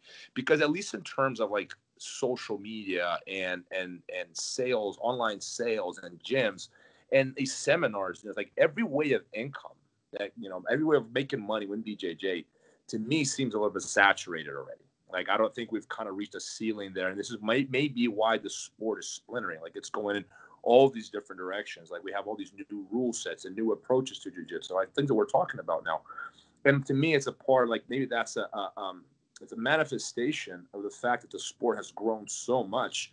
They have reached we have reached ceilings and now we are looking for new ceilings right like mm-hmm. what else can we do to be different because if i keep doing the same recycled recipe over and over i mean it's been done already. It's not gonna right? So i mean online i guess i i don't know if there's if there's a room for everyone to make money online. I think, I think there is for sure. I'm sorry Keenan. go ahead. Go ahead david. What do you want to say? I, I think there is for sure plenty of growth available still online. I, I, I think we're just starting to tap into it now. I mean, you got guys I mean, I think BJJ Fanatics has probably done like the best job of getting their name out there and and capturing a lot of talent, you know. And uh, from what I've heard of sales, they're doing pretty good, but it's still a lot more to go. I, I, I think the major shift for grappling that hasn't happened, and I don't know if if it can happen, is it for it to become a spectator sport. Hmm. because mm. right now the money is made on partition, practitioners and competitors. Like the people buying the DVDs are people who train and, and compete. When you basketball is not made, doesn't make their money that way. All all the people watching don't play basketball. Yeah. The people playing football, I mean, watching football, they're not out in the gridiron running, you know, the hundred yard dash or anything like that. Jiu-jitsu is still a is a practitioner sport. It's the people who are paying for it if there's a way, and, and wrestling's the same thing, right? And I mean, wrestling's been around since the beginning of time. Yet for some reason, nobody can get people to freaking pay to watch it. You know? yeah, that's a very good point. So that's why I don't know if it's possible, and is it because the sport is very complex, and and as far as it's not intuitive to most people to understand, oh, the, there's a sweep in the guard, you know, or the guy in the guard's actually winning. Like it just from an untrained perspective, it makes no sense. So mm-hmm. like your average dude can just pick it up and watch it, uh, which is why MMA does better because at least they understand the striking and they're like, oh, okay, we get it. And people getting smashed, you know. Yeah. Jiu-jitsu, like if you show your grandma jiu-jitsu, she's just confused. Like, why did that guy win with a triangle choke? They don't know what happened. Yeah. Yeah. So that might be the thing American jiu-jitsu has to solve, Keenan. Yeah. I, listen, I put a I put a lot of thought into this when I'm not thinking about lapel guards, I'm thinking about how to make money with jujitsu. Those are the two things I think about. And to answer Rob's question, or yeah, I mean, it's not, I don't really have an answer, I would say, but my opinion on it is that there, I think the act, I think the perception of what Brazilian Jiu Jitsu is actually holds it back too. I think the way that it's so it's so focused on like the first like imagine you're a white belt and I know from statistics of like surveys and some data that I have on my sites that so much, so many of the people who sign up to my site and also come to my academy are there directly because of Jocko, Jocko and Joe. Like hmm. they are the catalysts of the massive movement, more so than the UFC. It's it's these two guys that every single podcast they're on, they talk about how awesome jujitsu is they have such a crazy reach. Like Joe Rogan's reach is something insane. Like it's like astronomical numbers, bigger than TV networks back when they were at their prime. Like it's like ridiculous how many people he can reach and how many people really trust what he's saying. And if you watch a Joe Rogan podcast, he could be talking to a epidemiologist, he could be talking to an economist, he could be talking to a conspiracy theorist. He tells them all to do jujitsu. It doesn't matter who you are. He's telling them to do jujitsu. But that is not the approach that most people take when they talk about jujitsu or when they're trying to sell their their jujitsu. They all revert to the same thing. They revert to this is it's self defense. It's like you don't you want to learn how to be able to protect yourself and like that's like it, that's what it's about. It's like at its core for a new person True. getting in, they think it's a self defense thing, but Joe and Jocko talk about it as a self empowerment thing. It's like instead of being the victim, you're the guy who protects people from victimization. Like that's how they present it. That's what I think. That's what young men are really looking for. More so, like I don't think any of us at 19 were worried about how to defend ourselves. We weren't walking through alleyways scared. Like no. if anything, we're overly confident, knowing that like no matter what happened, we were going to win, even if we knew nothing about martial arts whatsoever. And I think a lot of that is tied to the traditional aspect of Brazilian Jiu Jitsu, the stuff that was carried over from Japanese Jiu Jitsu and continues to uh, exist in Brazilian Jiu Jitsu. A lot of the respect and the the discipline and the bowing to the senseis and all of that kind of perpetuates that idea because it's all connected. It's this idea that like you're learning you started jiu-jitsu or got into it because you were you didn't want to be victimized.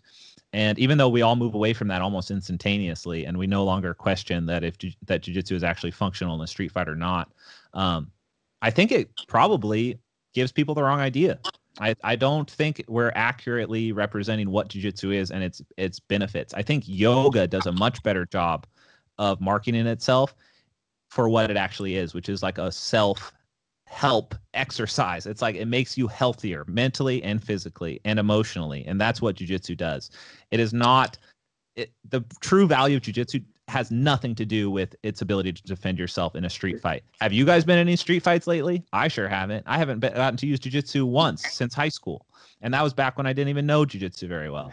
So it's like, why are we basing the entire marketing campaign of jujitsu around this use that no one's actually going to use? And you so, sorry, go ahead. No, no, I, I just want to finish your thought. I just okay. add something there. Oh, I'm not done. I got a long ways to go. So, so basically, that is one component. I think. I think from it like a saturation standpoint, I think absolutely not. We are not saturated whatsoever. However, to reach what uh, Dave said about spectator sport being the potential future for more money in jiu-jitsu, we can't reach that with a sport like jiu-jitsu until everyone's training in jiu-jitsu. It has to be so common in our culture that you can appreciate it because everyone does it. And I think it has that potential. Jiu jitsu has the ability to become the world's national sport because every single person can participate in it. I have never seen a sport besides video games, if you can consider that a sport, which a lot of people do, that is so expansive and everyone can participate. There's yeah. something for everyone in video games, and it is considered a sport. So and I don't think pe- like any of either of you could go on an esports website and you would kind of understand what's going on. Even if you've never seen the game before you would kind of you would get why people are into it. It's like you you watch the game for a second you kind of understand because everyone plays games and you get the basic idea which is just like it's essentially the same thing as jiu-jitsu. It gives you a sense of accomplishment over and over and over again. But instead of it being reality it's a team of coders that optimize it to give you that feeling of accomplishment over and over and over again. So i think it's playing off of some base human psychology that we're not taking advantage of as marketers of jiu-jitsu because that's really our job is to promote jiu-jitsu to the people not just to improve it as a sport which i totally agree with you there robert on the open source aspect. We all have a duty to improve it over time and d- distill the uh, effectiveness of it as much as possible but i think we also have the duty to make it as accessible to everyone as possible and the only way to make it accessible to everyone as possible is to not let it be founded too much in tradition because tradition is constricting and systems are constricting. And when you have a self replicating system like jujitsu, which is essentially what it is, we all get into jujitsu, we open our gyms, we talk about all the same stuff.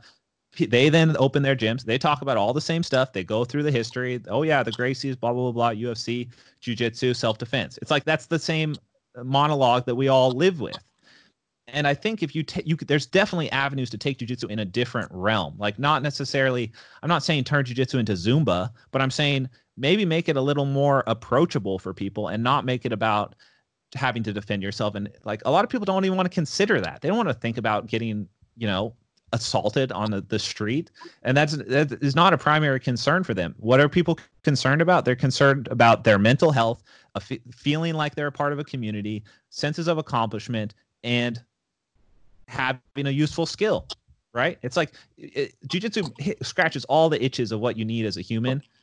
The only one it doesn't scratch is your need for money. So that's the, that's the missing piece. It doesn't it doesn't give you money. It doesn't guarantee you money.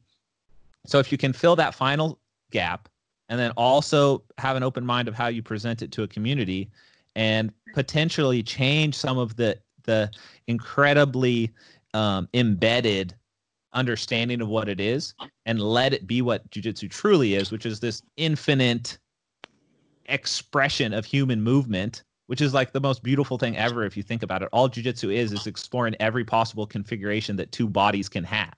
Like that will continue forever. And the goal is the same to win by making the other person give up. And just the fact that it exists in that way is like it, it's it's almost like uh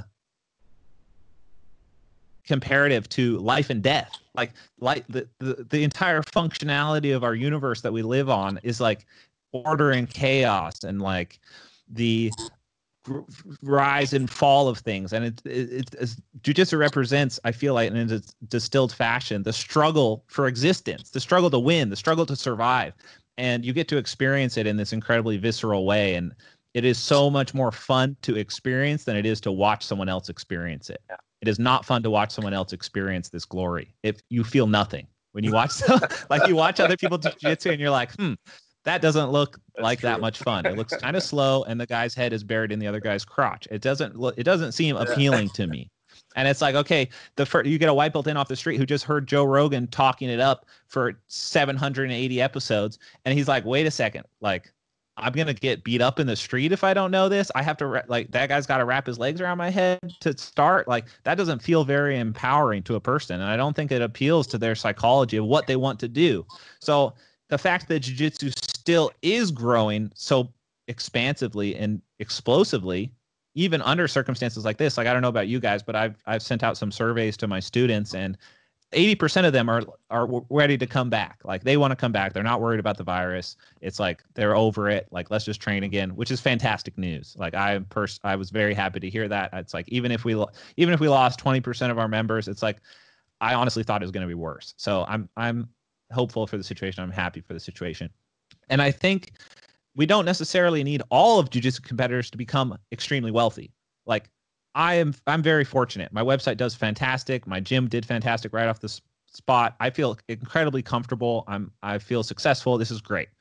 But you don't necessarily need that level of businesses and like multiple business and multiple streams of income to feel successful with jujitsu from a monetary standpoint. There's plenty of ways to just have a comfortable, livable income off of jujitsu. That just even that doesn't exist. You can't even just get by with jujitsu. You have to have another job unless you are able to put in the time, effort, and energy to learn a skill outside of jujitsu, like running a business or like marketing or some sort of other facet of the world that you can apply to your jujitsu. So I think there's definitely ways to set up infrastructure that supports that so so that these jiu-jitsu practitioners can kind of just go into it naturally i think there are ways to teach people to like just teach them how to fish instead of just giving them a fish um, and i think there's a lot of opportunity in the the realm of just doing better at making it more accommodating to new grapplers because I so an example of this. I like how Rob always says, "I'll give you an example of this." It provides perfect context. I'll give you an example of this.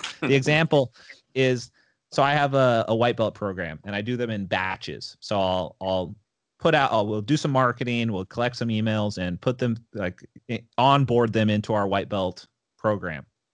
And the white belt program is a two is an eight week course, and it could just be a fault in the the system that we set up. I'm just testing it, seeing how it works. But one thing is for sure within a few days, I can get 30 white belts to show up at my gym all at once. And that seems powerful. It's like, okay, where are those white belts coming from? I'm not that good at marketing.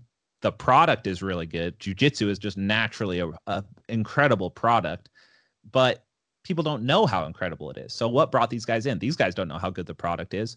My marketing's not that good. I just put something in front of them. They wanted to do it. Turns out they all listen to Joe Rogan and Jocko. so I've got this this hunk of people, this all this these people in fresh gis to work with. How do I in eight weeks? How do I convince them that jujitsu is the best possible thing for their lives? So first course, only six people converted. Terrible, failure, absolute failure. I, I, I don't know what went wrong exactly, but I tried my hardest. I set up a system of a curriculum. I taught fundamentals. I explained applications, not just in competitive sports, but in the street self defense type applications. I, I did all the things that everyone else does. I didn't I didn't miss anything. Trust me. Like I, I did the normal thing. S- six people out of 30, I can do better than that. We can all do better than that. And I, I don't know if other gyms do that in batches. So maybe they don't see how many people actually drop off. I know when I was training at Atos, I never saw a white belt make it over to the other side. They all stayed on the white belt mat. There was only one white belt there that ever made it to uh, past purple belt. His name was Abdi, and he started as a white belt when I moved there, and he kept he kept with it. Every other white belt did not continue. They all came from other gyms. They were blue belts from other gyms. They they had some previous jiu-jitsu experience. It seems like most of the gyms are or not most from my perception of being at gyms i haven't been to all the gyms obviously but from what i've seen we're not doing a good job of getting white belts to stick around and i don't think that is a personal preference you, on there you, know why that is i why? you know in this business and i and i this is one of my I, I don't like this aspect of it but it is what it is it's clicks it's hard to incorporate these white belts into the culture and dynamics yeah. of the gym when they're not good so no one talks to them because we have we set these hierarchies in the gym we go oh you're cool you're successful you're popular, you sit on there over here on the hierarchy, you're a white belt, no one knows your name, no one cares about you. Why would that guy come back? He feels about our gyms the same way we feel about 24 hour fitness. Right. Zero loyalty. Right. I, I've been making an enormous effort to like remember the names of all my white belts and having a relationship with every single one of them. And Absolutely. that right there is is a very difficult thing to do because I, I'm busy. Like I, I, I work 12 hours a day. There's only so much yeah. I give you know so for me to be able to like develop a relationship with all these guys is incredibly difficult unless you have very good trained instructors to do that when you're not exactly looking, when you're not for watching sure. which is super hard to do then very you know hard. you have a problem in your hands and that, i think that's one of the main reasons why they leave is because they don't feel like they're part of something so i what i do is this is what i recommend gym owners do i partner them up like i break the clicks the second i see a click i split it apart if I see the Hawaiians with the Hawaiians, I put the Hawaiians with the Filipinos, the Filipinos with the, the, the Chinese, the Brazilians with the Mexicans. I mix it all up, right? Whatever kind of clicks I see in the gym, I make an effort to split it because I want to make sure that every group is what is bonding with everyone else. Like every person is bonding with everyone else versus just like, oh, let's not talk to those guys over there because you know that's not he's new, he's not good at jujitsu, right?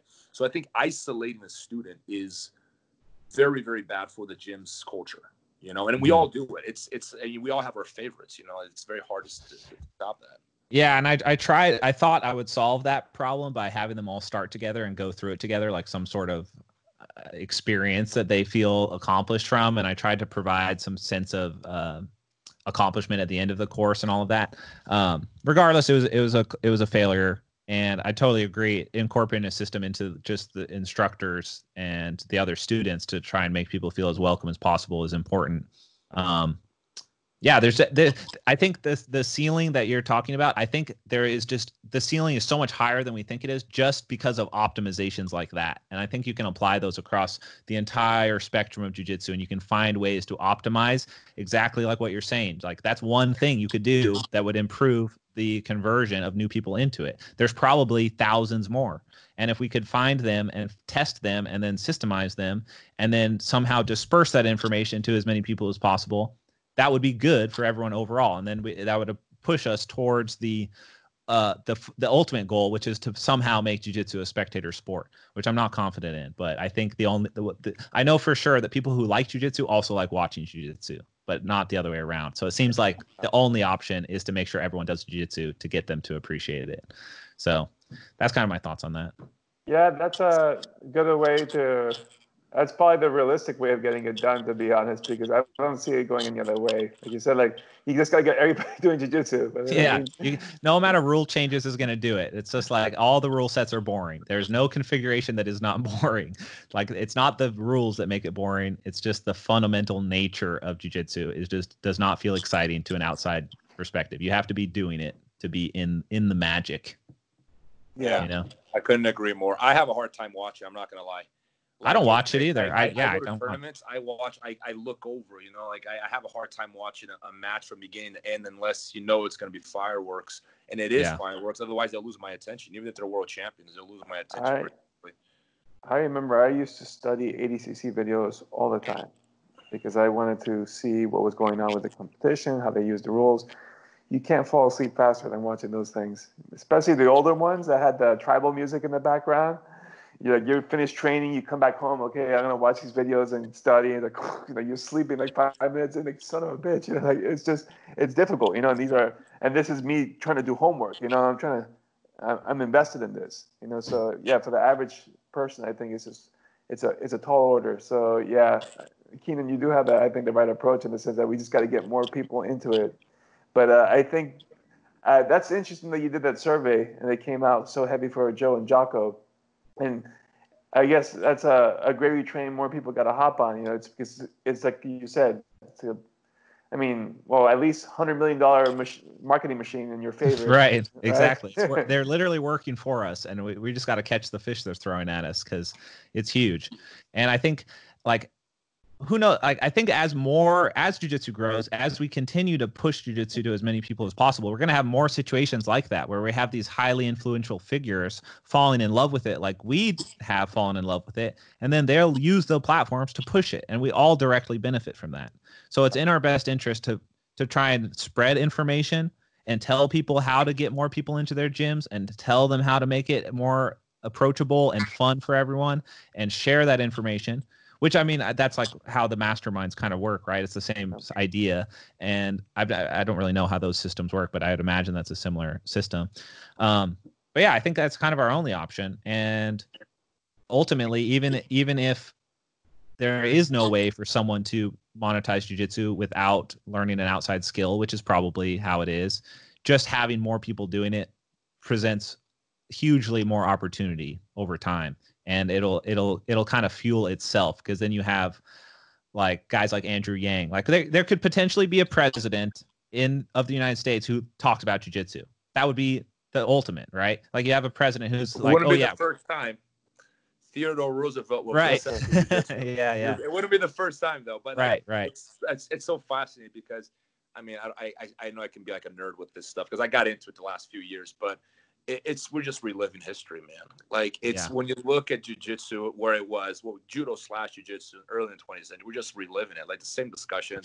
And it's it's more sophisticated. Don't get me wrong. Like the whole thing, everything's yeah. gotten better. But like the PR, the marketing, like the the the boom, you know, it's it's fascinating to observe. Uh, Keenan, let me ask you something really quick. I originally originally asked you uh, for an hour of your time. We're at an hour and thirty minutes. Can you keep going, or do you got to go? I don't want to be rude. Yeah, I, no, I, I, got I got another half hour. Let's say. Okay, I got about a half hour too. Dave, you good? Yeah, I'm good. All right. Uh, um, uh, I was going to ask you uh, one of the questions that came into my head before you got here, which now I can get to, is uh, you've trained in a bunch of different places. You said you've been with BJ Penn you, you've trained with Lloyd Irvin. You're trained at Atos. Uh, excellent coaches, instructors.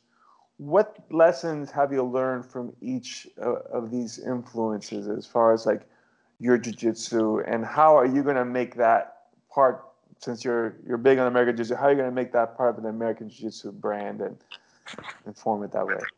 Yeah, that's an interesting question. I would say that's tough. Most of what I learned training at different gyms was not technique focused because you can get good technique from anywhere and it all is a little different but ultimately we're all like robert has been saying it's the it's all comes from the same source like it's all functioning on the same rules right?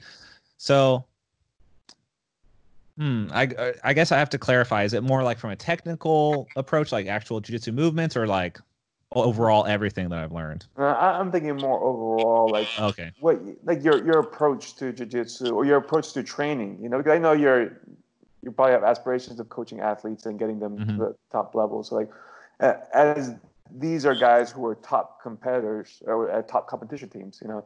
What yeah. type of things did you pick up? Because I know I've gotten okay, to, yeah. I've gotten to train obviously with Lloyd Irvin, but I also got to train with Atos a couple times out there. So to, at least from from my brief thing, they have a similar intensity in the drilling yeah. and all that, which I was pleasantly surprised with. But I, am curious. I know that we had Kit Dale here a while back, and you know he's very anti-drilling. You know, mm-hmm. and you have other people who you know they're all over the place. So I'm curious to see where you're lying at now. Yeah. So just there, there's definitely one unifying factor between all those places, and I would say the the biggest indicator for success from a jiu-jitsu team perspective and doing well in a competitive setting is having a, a, as many talented guys on the mat as possible and letting them spar as much as possible. The more sparring you can do with high level guys around you, the the higher level the room becomes. And it that seems to be 80% of the battle is just getting enough good guys in the room to where it starts to be a machine that fuels itself. And it's just like all of these guys are incredibly talented. They're picking up stuff from each other on a daily basis. They're sharing information on a daily basis. They're adapting and challenging each other and pushing each other and they're all rowing in the same direction towards this similar goal. That's an incredibly powerful thing not just in jiu-jitsu but probably any goal you're going to pursue if you have a bunch of people going in the same direction hugely beneficial so aside from that i think the biggest difference between all of the gyms is how they each approach the mindset and this was this is what makes me think that set universal. Primarily. And it seems like, and from my experience as well, the mindset that is suggested from these coaches doesn't necessarily work for me but it's a great foundation for me to start developing my own mindset on things and how like what works for me what gets me in the zone what gets me focused what get, keeps me motivated so yeah, I don't, I don't I don't think that the mindset that they push in spec- like specifics is very important, but that again, the mindset that, that is unifying between all this gym success is hard work. And I mean, it's it's uh, that seems obvious when you say it. It's just hard work, a talented room. That's about all you need. It's too like, simple. It beca- why no one likes it's that. too. It's yeah. It's too simple. It's just like you. It becomes a snowball rolling down a hill. You you put three tough guys in a room, and they're all killing each other and then they go and do well in competitions because they have more tough training partners than anyone else. The fourth guy the fourth guy becomes one of the guys that they beat that's like holy shit what was that guy doing? Why is it different? Oh he just like they have a sick room. I'm going to go join the room. And then they're looking for the answer and then they they already put themselves in the answer just by joining the room. And that's what i've done at every gym that that i've joined a team. It's because i recognize that they have a good room. So building the room is the most important thing and so my approach to this this has been uh, whatever the cost, build the room. If you can build the room quickly, then the success for the competition will follow. And I haven't tested that, but I'm pretty sure like my room is good already. Like I have got a good room, and it's enough to push me, and I I, I can train at a, a a higher level than I can compete at. Like in the room, that's where I thrive. I'm a gym warrior. Like I I just fo- like I analyze people's games. I specifically do techniques that are purely to beat their game and have no application outside of it whatsoever. It's a it it holds me back in competition because I do that instead of focusing on my A game that should apply to everyone. But I think it provides it makes me a good training partner for a lot of people because I specifically will try and beat you at your game with moves that directly expose or attack the weaknesses that I see in people's jiu-jitsu. So from a sports psychology standpoint, I I don't think I even understand my own psycho- psychology well enough to coach other people on theirs. Like I, that's been the biggest struggle for me, just fighting against myself and my own uh, weaknesses mentally for competing. I think having having someone who has an incredibly strong mental focus around you kind of can help you get past your own mental blockades and i think that's what i felt at, at lloyd's the most was that everyone had an incredibly strong mind because Lloyd always pushed that very tough mindset. And I, I, there's different facets to that. Like a lot of times that turns into like a, an us against them mentality, and it's like where it's us versus the world. It's this small group we're fighting against this bigger power, and I think that was a hugely unifying thing for us at Lloyd's. Was like they're going to screw us. So we're going to go out there. It's us versus the opponent and the ref and everyone else. They're going to be talking in, you know, Portuguese, coaching against us, and we don't speak Portuguese. So we're going to get screwed regardless. We have to win. We have to kill them. You have to submit every single person or you're not going to be able to win and that severity on the situation does it makes you train harder for sure. And then it's like creates like sort of a unifying thing. There are downsides to that as well because then we all kind of fall, fall into the same track. We and which is good for competition. You all become robots and you just listen to what the coach says. And like if you can let go of your your own mental uh gymnastics you have to do with yourself to talk yourself into or out of good and bad ideas or even just the things you have to do like competing um, it can be negative as well. It can burn you out, which I think is something we saw from that environment more than anything. It was the burnout. Because while I was there, I know I was getting burned out. I know JT was getting burned out. I know Jimmy burned out, and I know DJ burned out. And there's a lot of burnout in that place. And eventually, we all come back because it's like uh, you burn out, you you get over it, you realize that jujitsu is all you got, and you go back to it. And you're like, I got to just accept this. This is all I got. So, so you get so once you're once you're in the whirlpool of jiu-jitsu and you you, there, there's no way out of it because nothing compares. Literally, nothing else is very fun for most people that get into that mindset. So at Atos, it's a little different. It's a little more open. Like there isn't as much guidance from like a coaching standpoint. It was kind of just it it it let the sandbox mentality thrive for me at least, but there is some resistance to it because there is more like what you're talking about. What what I do works. Like this is how you should do it. This is the right way to do it not necessarily from a technique point, but like showing up like to training and how the training has to function.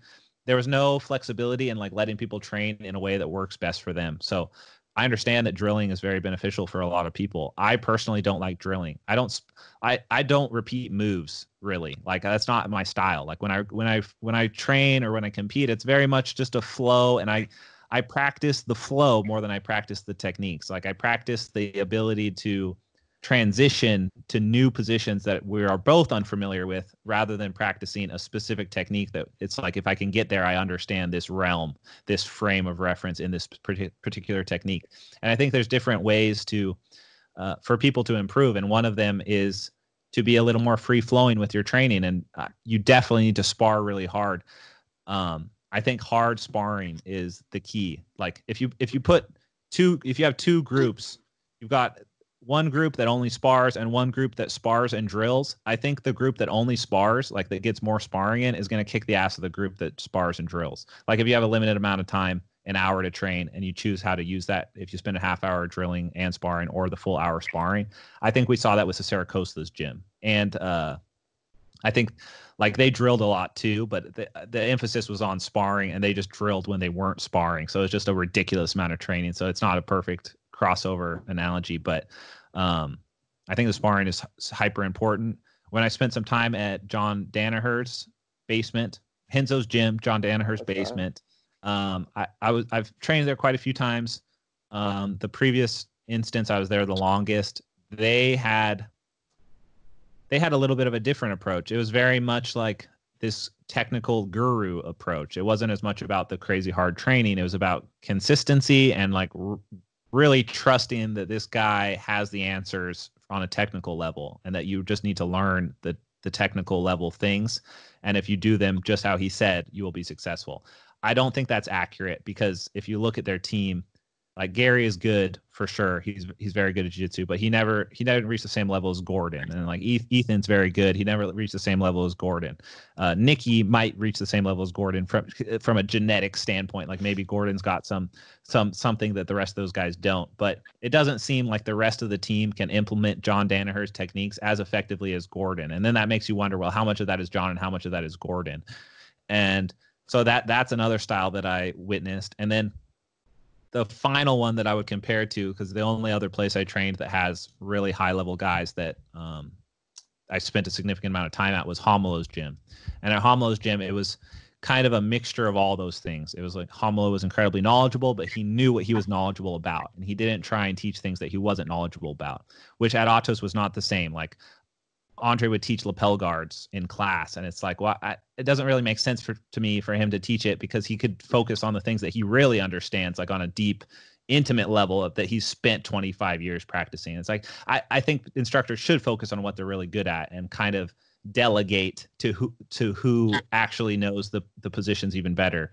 Um, like if if the intention is to make sure that the room improves you know? Like i i just think that it should be spread out a little more and Romulo did that. He was more focused on like this is what i know this is what i'm really good at this is these are the moves that i know will work for any of you and i know them inside and out and those are the ones i'm going to teach. And then if there was something else he would be like oh this guy does that. And he would always talk about how he like bought this guy's instructional and studied it and he learned so much but he's not going to show it to you. You should just go look at it because he, it, whatever he got is a copy of the copy, and it's not quite as it's not a, a perfect uh, regurgitation of the information, let's say. Um, so that was kind of interesting as well uh, to take that approach. And a lot of a lot of Romulo's guys seem to reflect that, and they have a much more diverging styles. All the styles at Romulo's are very very different. Everyone has a very specific game. It's like two to three moves that they're like super good at, and none of those moves are something that you find in Romulo's game. Um, and like Gabriel Arges has like incredibly technical but flowing style and plays a lot of like open guards and not very much spider he like plays open guard without using spider hooks a lot and he kind of berimbolos but not really and it's a totally different style of like inversion game he plays. It reminds me a lot of jimmy harbison's game actually um, and then you have zane who's a really tough brown belt who just has a really great close guard and a, one particular close guard sweep that he sweeps everyone with and then it's kind of all well rounded overall and so like you can kind of see the divergence in how the students grow and how how they grow into their their uh, particular jujitsu game based on these differences between the instructors. So at John's, it's everyone is doing John's moves. Everyone, they're all doing it, but not to the same success. So that kind of goes back to what Rob was saying about how there is no wrong way to do things. You have to be able to explore the boundaries of something to see how it fits into your body. Everyone's got a different length forearm for a heel hook, or everyone's got a different wrist control. Like everyone's hands are different. Maybe you have a wrist injury or some sort of lack of flexibility or hyper flexibility that lets you do something slightly different. And I think if you fit try and fit too much within the lines, you're constricted. And if you try and go too much out of the lines, you're constricted.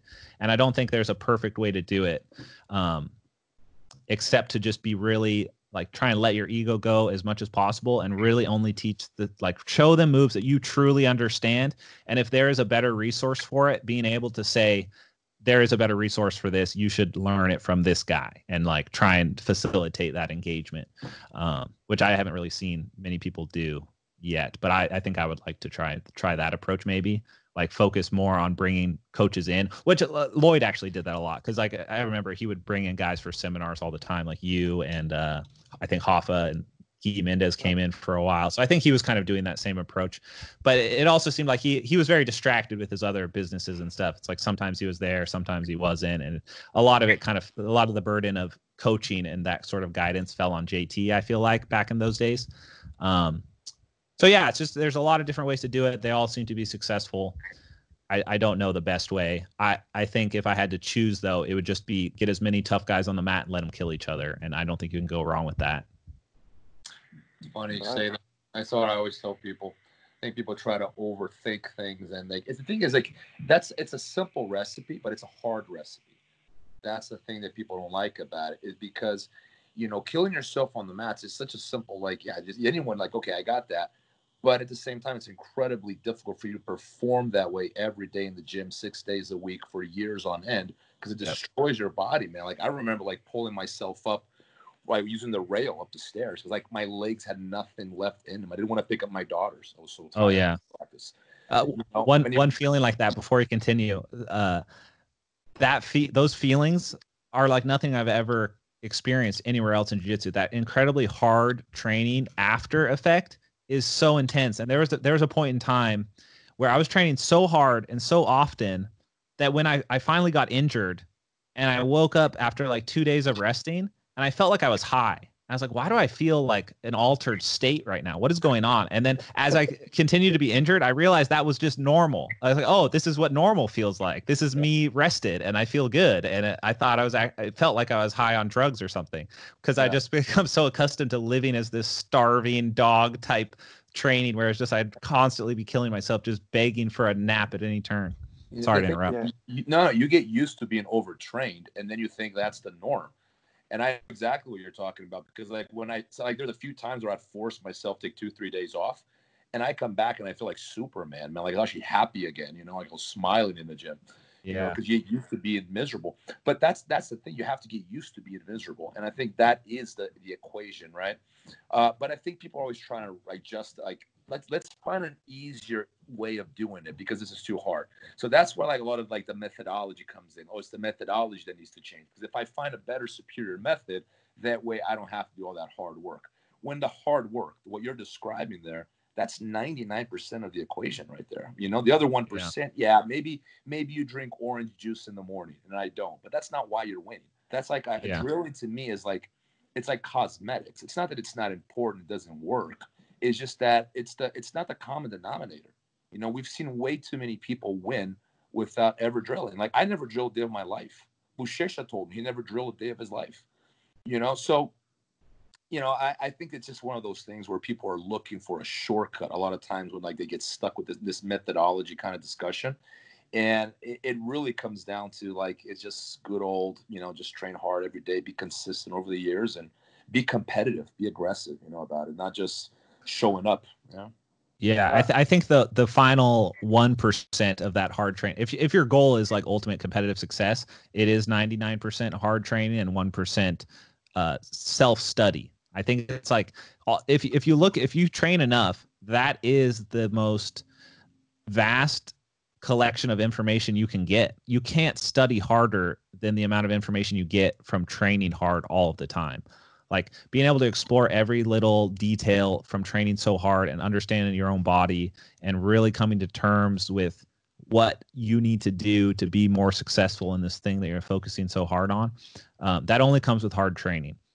But the uh, the the other side that is very important is just acquiring as much information as possible enough uh, uh, as much accurate information as possible. So there's like this there was this inis- initial phase for me when i started taking jiu-jitsu more seriously where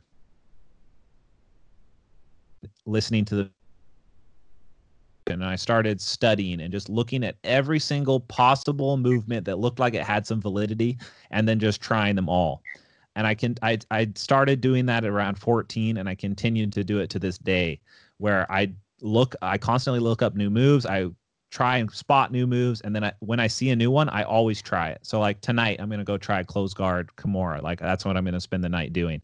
Like I, I, I don't necessarily have to see it but i see i see the idea and i'm to try it and i'll probably discover some stuff on my own and kind of figure out how it works and that's just one more tool i have in in the toolbox.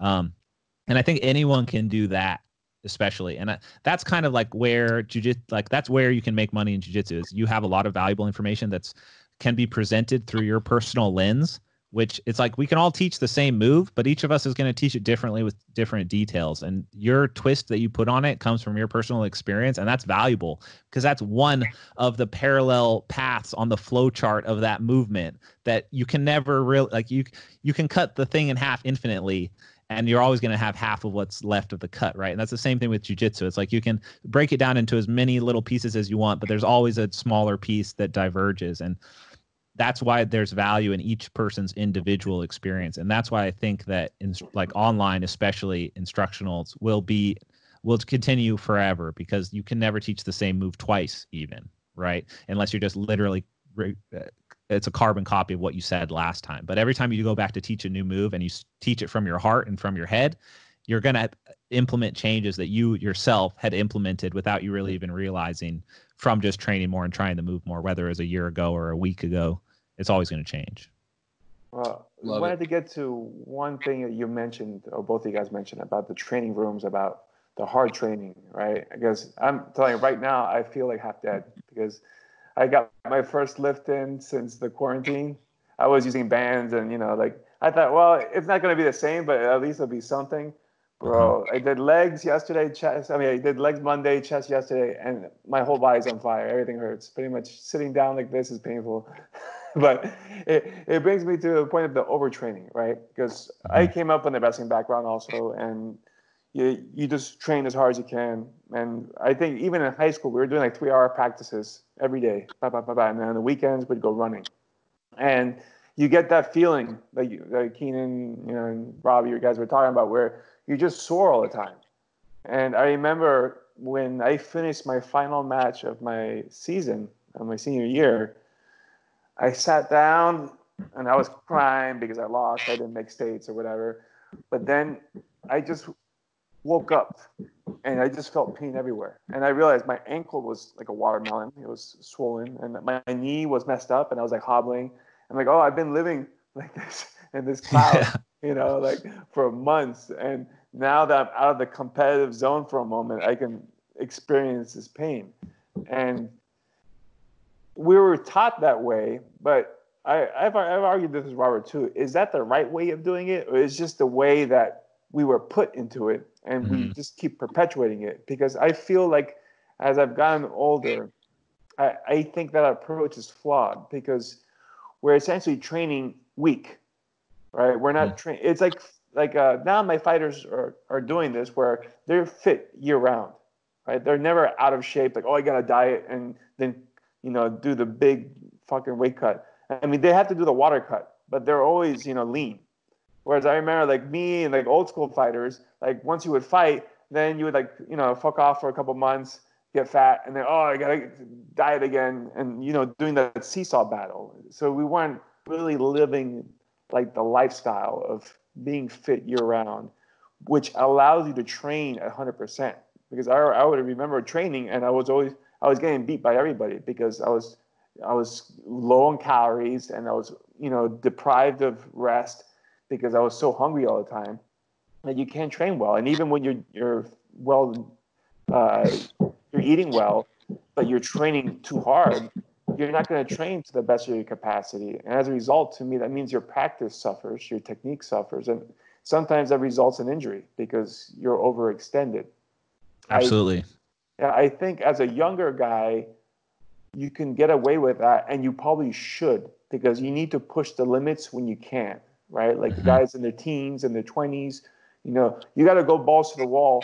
So you, you have that those gym wars, those experiences, because they're much more costly on competition. But at a certain point, there there is like a diminishing returns, right? Because now when you do too many of those wars, you start getting injured more, and then you can't compete. Yeah. So I feel like that's one of the things that I look at now. Is like the training doesn't stay the same forever, right? I mean, that's that should be kind of obvious, but it, it isn't because even you have you know in your 30s and you're in the twilight of your career and you're training the same as you did in your teens, you won't last, you know, unless you're taking some special vitamins. It's not going to really work out for you. Yeah, let me cut in there because I I experienced that last sentence especially brutally. So this is this is what happened to me and my realization of that as well because I mean, I'm still pretty young, but I definitely don't recover as fast as I did when I was 22 or 23. I'm 28 now, and around 26, I had to kind of slow down the training. And I think a huge part of that was training with people who are on the special supplements, and I couldn't keep up. Like, if I continued to train how I did at Lloyd's, I would try, but this time the group of people I was around wouldn't I couldn't keep up. I couldn't train as much as them. So I I was actually that that damage to my body that you were describing it was happening on an even more intense scale because now not only was I training the same amount if not more but I was training with stronger people who do not get as worn down as I did. Yeah. So I couldn't actually compete on just a physicality standpoint. So the only way that I could counter that to continue being able to train and not get get hurt and even be in it because for years i was uh, like there was an entire year where like I was dislocating my kneecap over and over again. I had a herniated disc. I like could barely train. Someone grabbed my head in a guillotine for and I fought out of it. I wouldn't be able to train for 2 weeks cuz my neck would be so fucked up. And I just thought it would go away cuz it always went away before, you know? Like I back at back at Lloyd's, I used to walk around it felt like I had a knife stuck in my back all the time and I never understood why and I it was just like a, a tight muscle that just never went away, and it was so painful. All I, all I needed was a massage and a foam roller, but I didn't even have a concept of like how to use those things properly. So I just suffered with it for like two years, and then I started to realize like, oh, you actually can take care of your body, and it, it helps. And so I I I changed my my training strategy to just train. I trained when I felt good but not when I felt really bad. Like I didn't force myself to train when I felt really bad. Where I used to do it, I would just like force myself and I'd be like, it's good for me. But it became just like what you're saying. If I force myself, I'm probably going to get hurt and it's going to be counterproductive. So I changed my strategy. I was like, well, what can I do in my downtime that directly benefits this issue that I'm feeling? And the answer is weightlifting, of course, because it's like, well, weightlifting, it's not super cardio intensive it's just breaking down your muscle fibers, which seems to be a different thing. It's almost like jujitsu breaks down your nervous system on some level, and like you you you feel it deeper than muscle soreness. I don't know what it is, but I walk around feeling like my eyes are like closing up, and it's just I don't know what the feel. I can't describe the feeling. So I started lifting as a supplementary thing, and that changed everything. It let it let me be more durable because I had a little bit more muscle mass and I had been lifting throughout my entire career, but I started taking it more seriously. And I, I haven't been as much lately because I've been trying to run the gym. But there was a time where I was lifting almost as much as I was training. So I had an equal amount of lifting sessions as training sessions. I would replace. I used to train twice a day jujitsu and three times a week lifting, and then I changed it to once a day jujitsu, once a day lifting. So I would I would lift before I would train. So I'd, I would try and either train in the morning and lift at night, or vice versa. And that actually allowed me to become a lot better at jujitsu because like you're saying i was no longer fighting from this dilapidated state where i'm just like barely able to function but i'm just i can do it because my jiu-jitsu was good enough but i didn't really know what i was truly capable of from a physicality standpoint until you do that when you're rested and you take the time to take care of your body and build strength and push yourself to a different potential. So there's like your mental potential, which is just training hard all the time and forcing yourself to do it, which is important to do because you need to know how far you can be pushed before you break. And then there's the other side of things where you can reach your physical potential by by disregarding that crazy uh, mental strength that you need to force yourself to go train all the time, and you can redirect it towards improving your physicality and uh, recovery so you can be stronger and train more often which seemed to be what was allowed like that that's the incentive to do steroids right? Is like you get to train more often and not get injured as much and so you spend more time on the mats in addition to whatever extra strength it gives you. So i was trying to kind of try, found a way to supplement it at the cost of my the amount of time on the mats and i replaced that amount of time on the mats with more off the mat focus on jiu-jitsu. So then I started just thinking about jiu-jitsu more often rather than just training it as much as possible because I used to train so much that the last thing I wanted to do was think about jiu-jitsu off the mats. It's hmm. like once I stepped off the mats, I hmm. would rush out of the gym. I would shower as quickly as possible hmm. just so I could shower first so I didn't have to wait there any longer. And I would leave the place as quickly as I could so I can start thinking about other things and like not have to worry about jiu-jitsu anymore. And so when I started when I took a step back and started treating it more like okay, I want to do this when I feel good and I'm going to try and optimize my time better. Then I actually had the energy and the inclination to think about jujitsu off the mats. And that, most of my technical progress came from that period of time. So that was when I started developing lapel guard stuff because prior to that, I was kind of playing around with lapels, but I, I was more traditional. I had a lot of spider guard, open guard stuff, and did traditional passing. But when I was able to take that time off to really focus on, like, wow, okay, how create creative can I get with this thing and like really put some deliberate effort into cr- creating a new system and actually spending time thinking about it. it. It's I was surprised with how little I was doing of that before. Like when I made that a priority to actually think about jujitsu and like think about alternative paths of accomplishing the same goal, whether it be a sweep or a pass or a submission, using this new tool that I was I really liked because no one else was using it. Um, that led to most of my technical progress as well as my ability to substantiate a career and make money because I, I created a system that is unique to me. It's very well thought out. I can teach it to anyone from white to black belt level, and everyone can find success with it. And in the process of having more energy, my brain was able to function better and it turns out my brain is my best feature. Like if i if i can't use it i'm screwing myself over. So my physicality was not like training super hard was not serving me anymore from be, like beyond just like the mental toughness was acquired. And once you acquire the mental toughness as long as you can retain the mental toughness which you can because you can work really hard off the mats. You guys know how how hard you can work without killing your physical mm-hmm. body. You can work your brain much harder than you can work your body. It lasts longer you know and it actually seems to gain momentum. The more you work it's like you can work harder longer longer and it doesn't burn out as much. So I, that that shift in understanding for me was he, like revolutionary to my life. I stopped hating jiu-jitsu like i didn't hate it but you know you know the feeling. You start to hate it at a certain point. You're like anything that you do that much and you're forcing yourself to do it and you feel like shit all the time you're going to start to resent it. So it eliminated the resentment. It provided huge opportunity of growth mentally and technically and I was able to get stronger and bigger because I was burning less calories and that extra strength actually allowed opened up more of a game. So then I could actually put pressure. So I learned how to actually apply pressure because I had the strength to actually make it efficient. So previously I was just really flexible and so I had this like this tree of moves I could do because I was hyper flexible but I couldn't do any of the the strong guy moves on the other side of the spectrum. So then I kept my flexibility and I started adding strength, and then the whole world of pressure and strength game opened up to me, and that doubled the tools I was working with there. And at the same time, I was able to focus on creating a system of the kind of the lapel guard, which I guess would kind of fall in between maybe. So that was hugely beneficial. So I totally agree that there is a certain point you have to change your prerogative. Yeah, yeah, like like you said, me and Rob have talked about this before, but toughness once acquired rarely leaves you. You know, like you, have learned the lesson of it, and you understand the limits that you have. And I, I, I think, think, that's the primary value. Yeah. Hey, uh, guys, I, I this I could keep going for another. I gotta call my daughters. I know that if I don't call them now, I don't get to talk to them later. So, no worries. But uh, man, like uh, Keenan, um, man, such a gentleman. Thank you so much. I had so much fun. I knew we would have uh, a lot to talk about. Uh, let's do this again at some point. Absolutely. Had, it was a pleasure. Thanks for inviting me. For sure. And Keenan, before we let you off, uh, go ahead and let people know where they can find you online and your courses and all that good stuff.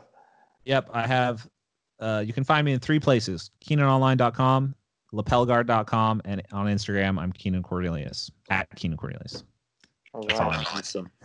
and uh, if you ever, whenever next time you come to Vegas, man, definitely stop by. I know you've been here uh, before man, next time, just let's just do something together, man. Let's just uh, sure. have a seminar, some rolls, sit down, grab dinner, or something, man. It'd be good. Absolutely. Really appreciate it. Thanks, guys. I'll catch up with you later. All, All right. right. Take care, everybody. So much, See ya. Right. Bye.